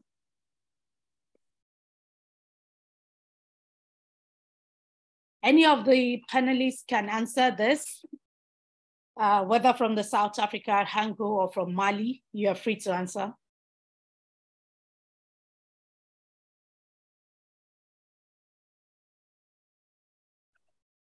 Hi, it's Audrey here. Um, you know, in South Africa, there's been different mechanisms between different groups. Um, some of the groups in the uh, kind of urban areas, like in Joburg, they were charging like a 200 Rand membership. I don't know what that is translated into, um, you know, EU or uh, any other currency, but 200 Rand a year. Um, and then there was thought about charging for the actual assessment. But what we've noticed in the development of PGS in this country after we got some funding to, to roll out a bigger program is that um, that the, the big need is for the administrators, the people, the facilitators, the people that are going on the visits. It's their time in preparing for the farm visit, um, doing the farm visit and writing the report. It's their their time. And we did find some funding for that, but it's not sustainable. We need to find a sustainable way to support PGS. And it and although the farmers should contribute, remember they're contributing their time. So a lot of groups are saying, okay, we're not talking money now. We're saying you give us your time for your AGMs, for training, and for coming to all the farm visits and your time is also your money. And then in exchange other people will come and do the certification at your farm and they will give you their time. So it's almost like a, a barter of people's time. That's what we're trying to to use at the moment. But um, and i think that there are many other examples where there are costs involved but at the moment most groups are not charging anything. Um, and at most it's a it's around 200 rand. Thank you. Thank you. Um, Musa, can you unmute yourself?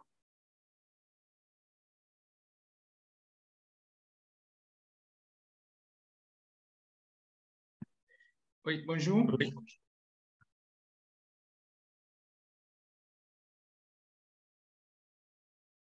Bonjour, est-ce que...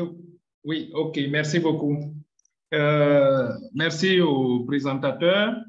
Euh, moi, je suis euh, Moussa Baro, je suis du Burkina Faso, également membre du comité central de certification au, du SPG voilà, Burkina Faso, mise en place par le CETABIO, le Conseil national pour l'agriculture biologique.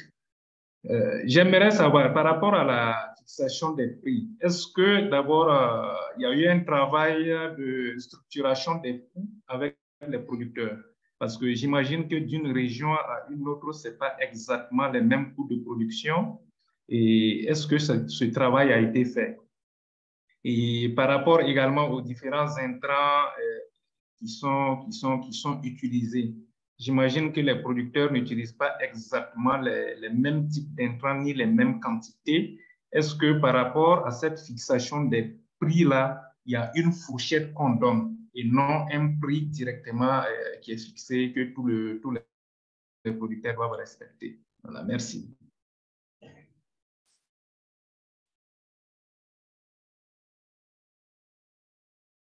Um, Amadou, do you want to answer that question? OK. OK, et merci Barou pour euh, la question. Par rapport à la circulation des, des prix, euh, j'aimerais au moins apporter euh, la clarification. La gestion des prix est très compliquée, a été très compliquée euh, pour nous dès le départ parce qu'à cause du prix, il y a certains producteurs qui sont retournés sur des mauvaises pratiques et qui sont même sortis du système de certification parce qu'ils les arrivaient à produire et à sur le marché étant des producteurs biologiques et vendre au même prix que ceux du conventionnel. Et ça, ça a été vraiment la, inacceptable pour eux, vu l'effort, ne pas utiliser les produits chimiques et aller, parce que quand on produit euh, en agriculture biologique, il y a l'aspect aussi visuel de ces produits. Souvent, les produits conventionnels sont beaucoup plus jolis, l'aspect est beaucoup plus attirant que les, produits euh, biologiques. Et là, sur le marché, les produits conventionnels ont beaucoup plus de, des, visions, de beaucoup plus d'appréciation auprès des consommateurs et ils sont beaucoup plus tentés à acheter les produits conventionnels. Donc, ça a découragé beaucoup. Nous, la stratégie que nous avons maintenue, c'est de maintenir 20 euh, à 30 des différences au même type de culture conventionnelle comparée à l'agriculture biologique au moment de la récolte. Si la pomme de terre conventionnelle est 500, nous, on rajoute 20 à 30 applicables sur le produit biologique avant à commercialiser sur le produit. Maintenant, d'une région à d'une autre, par exemple, certains peuvent appliquer 10%, d'autres peuvent appliquer 15%, d'autres peuvent appliquer 30% et même exceptionnellement, certains même euh, aller jusqu'à 50% exceptionnellement. Bien vrai que ce n'est pas l'objectif parce que plus le prix est élevé, plus on handicape les, les consommateurs moyens à accéder à ce type de produits. Alors que l'objectif de la certification aussi, c'est de garantir la qualité de ces produits à tous. C'est-à-dire que les gens qui ont des revenus intermédiaires, des gens qui ne sont pas aussi en mesure d'acheter des produits eh, trop chers. Donc, voici un peu la stratégie que nous avons développée pour faciliter la, et garantir l'accès de nos produits à tous, sans exception.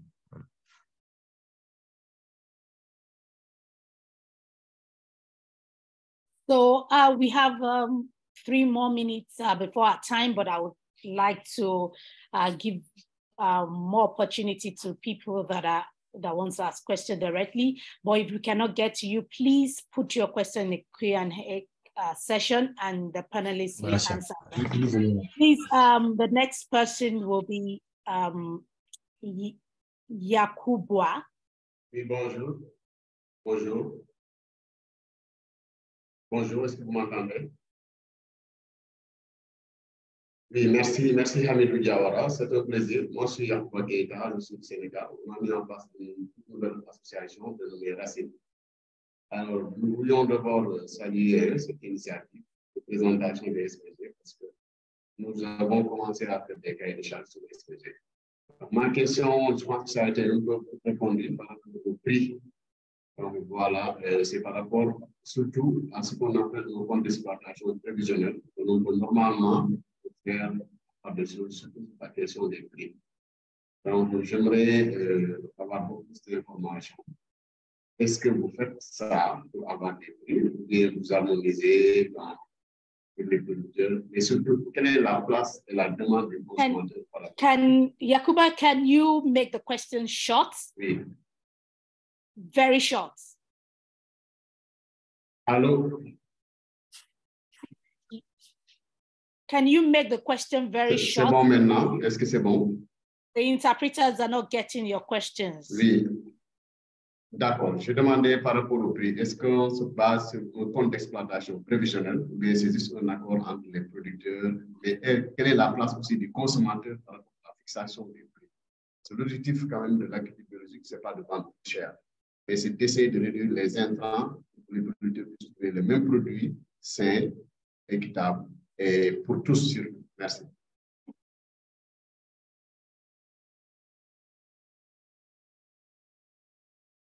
Um, before Amadou, before you uh, ask, answer the question, if you are asking any other question concerning price, please put the question in the Q, Q&A session. I will not be able to take that, except there's another question, vital question. Thank you. Please go ahead and answer the question.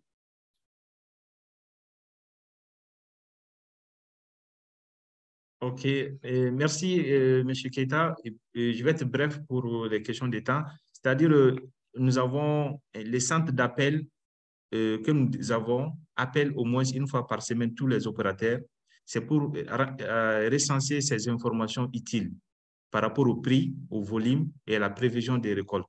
Ceci nous donne, et même les intrants utilisés. Donc, on a un compte d'exploitation parce que si on les laisse aux producteurs eux-mêmes, ce n'est pas leur souci principal. Donc, nous avons compris que nous-mêmes devons faire l'effort pour récolter ces informations. Et c'est en guise de tout ça, les 20 à 30 des différences entre les prix conventionnels sont fixés et facilités par l'équipe technique pour qu'il n'y ait pas euh, d'usurpation des prix pour augmenter juste pour mieux vendre. Parce qu'il faut sauvegarder l'intérêt des producteurs et aussi des consommateurs. Donc, nous, nous sommes au juste milieu. Merci. Je vous remercie, Diawara. Merci, M. Keita. Merci. Thank you very much. The last question will be for Benjamin, and that will be our last question today. I am very sorry. Uh, our time is fast spent. Benjamin, last question, please. Thank you so much. Uh, my name is Benjamin Due, chef in particular. I'm coming from Malawi. And uh, I've liked the presentation that does to say uh, we as chefs, sometimes we have an integral part in organic farming. So I also like to give an honor hand for Never Ending Food in Malawi, which is playing a vital part. So uh, as I've- Can you go I've straight to the question, please? Yes, I've as, I've as listened to traceability of food. Sometimes farmers, they play an, in, an important part in traceability because I have to uh, advise my customers, my clients have to say, this recipe has been devised out of uh, food traceability. This is organic food. So to what extent in Malawi, in my country, can I collaborate with Never, Ev- Never Ending Food as an organization for us to have a clear traceability of food whereby customers have to be very confident that the food that is being brought on my plate is coming from organic food as I've heard from the presentation. Thank you. Shelley, do you want to answer this for us?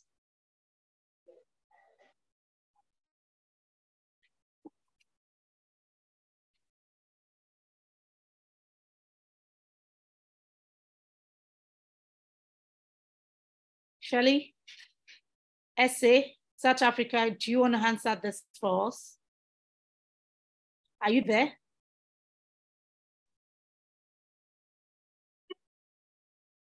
Sorry, um, Cheryl had to leave, so so um, she's not here anymore. Apologies. So go ahead, you can answer the question, please. Um, it was your question was focused on. Sorry, I I didn't get all of the. question.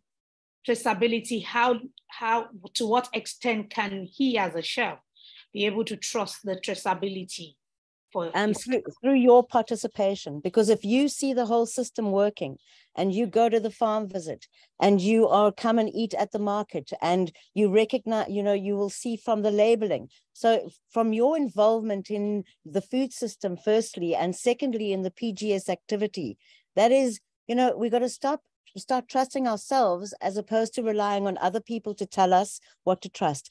And of course, we can't have every single consumer at a farm visit but certainly if you want your if you want to be involved and you want that assurance go on the farm visit i think when matt was talking about the technology that ultimately when farmers have got they've been approved their crop lists are down they list their availability you'll be able to go on an app and click on that particular farmer and see oh the farmer had their visit on this date the farmer was approved here's the certificate i know that i can trust it because i know it's a pgs system so the one part is your physical involvement. The second part is this development, the technology that Matt was referring to, which I think will help enormously with that. Hope I've answered the question. Sorry. Thank you very, very much. Uh, thank you everyone for joining today. We will not be able to take more questions because of our time. I would like to say a big thank you to all our panelists. Thank you so much for your time. Thank you for giving out. I'm sure we've all enjoyed the webinar today. We've all uh, picked one or two things and we've learned something new today. And hopefully in another two weeks, we'll be having the final webinar. And um, that has to do with, uh, you know, collaboration with other stakeholders who are not necessarily PGS. How do we collaborate this whole food system because it involves everybody? How do we collaborate? How do we bring everybody together so that we can all work together and achieve the same uh, goal? On this note, I would like to say uh, thank you and to end the session and to say a big thank you to G- uh, GIZ and say a big thank you to SAOSO for making this uh, webinar possible. Thank you very much and uh, see you in the next two weeks. Bye for now. Thank you, Wumi. Thank you, everybody. Bye. Bye. Bye, Bye, Audrey. Amadou, bye. Thank you so much. Merci. Hola, hola, Winnie. Hola, Winnie. Merci bien. Merci. Merci, merci, merci. Yeah. Fortunate, I saw you. Bye. Thank you for always coming. Bye. Bye. Mama Okpe, bye. Thank you for always coming. Bye. Bye. Bye, everyone. Well done. Well done. Able moderator. Cheers. Yeah. Thank you for the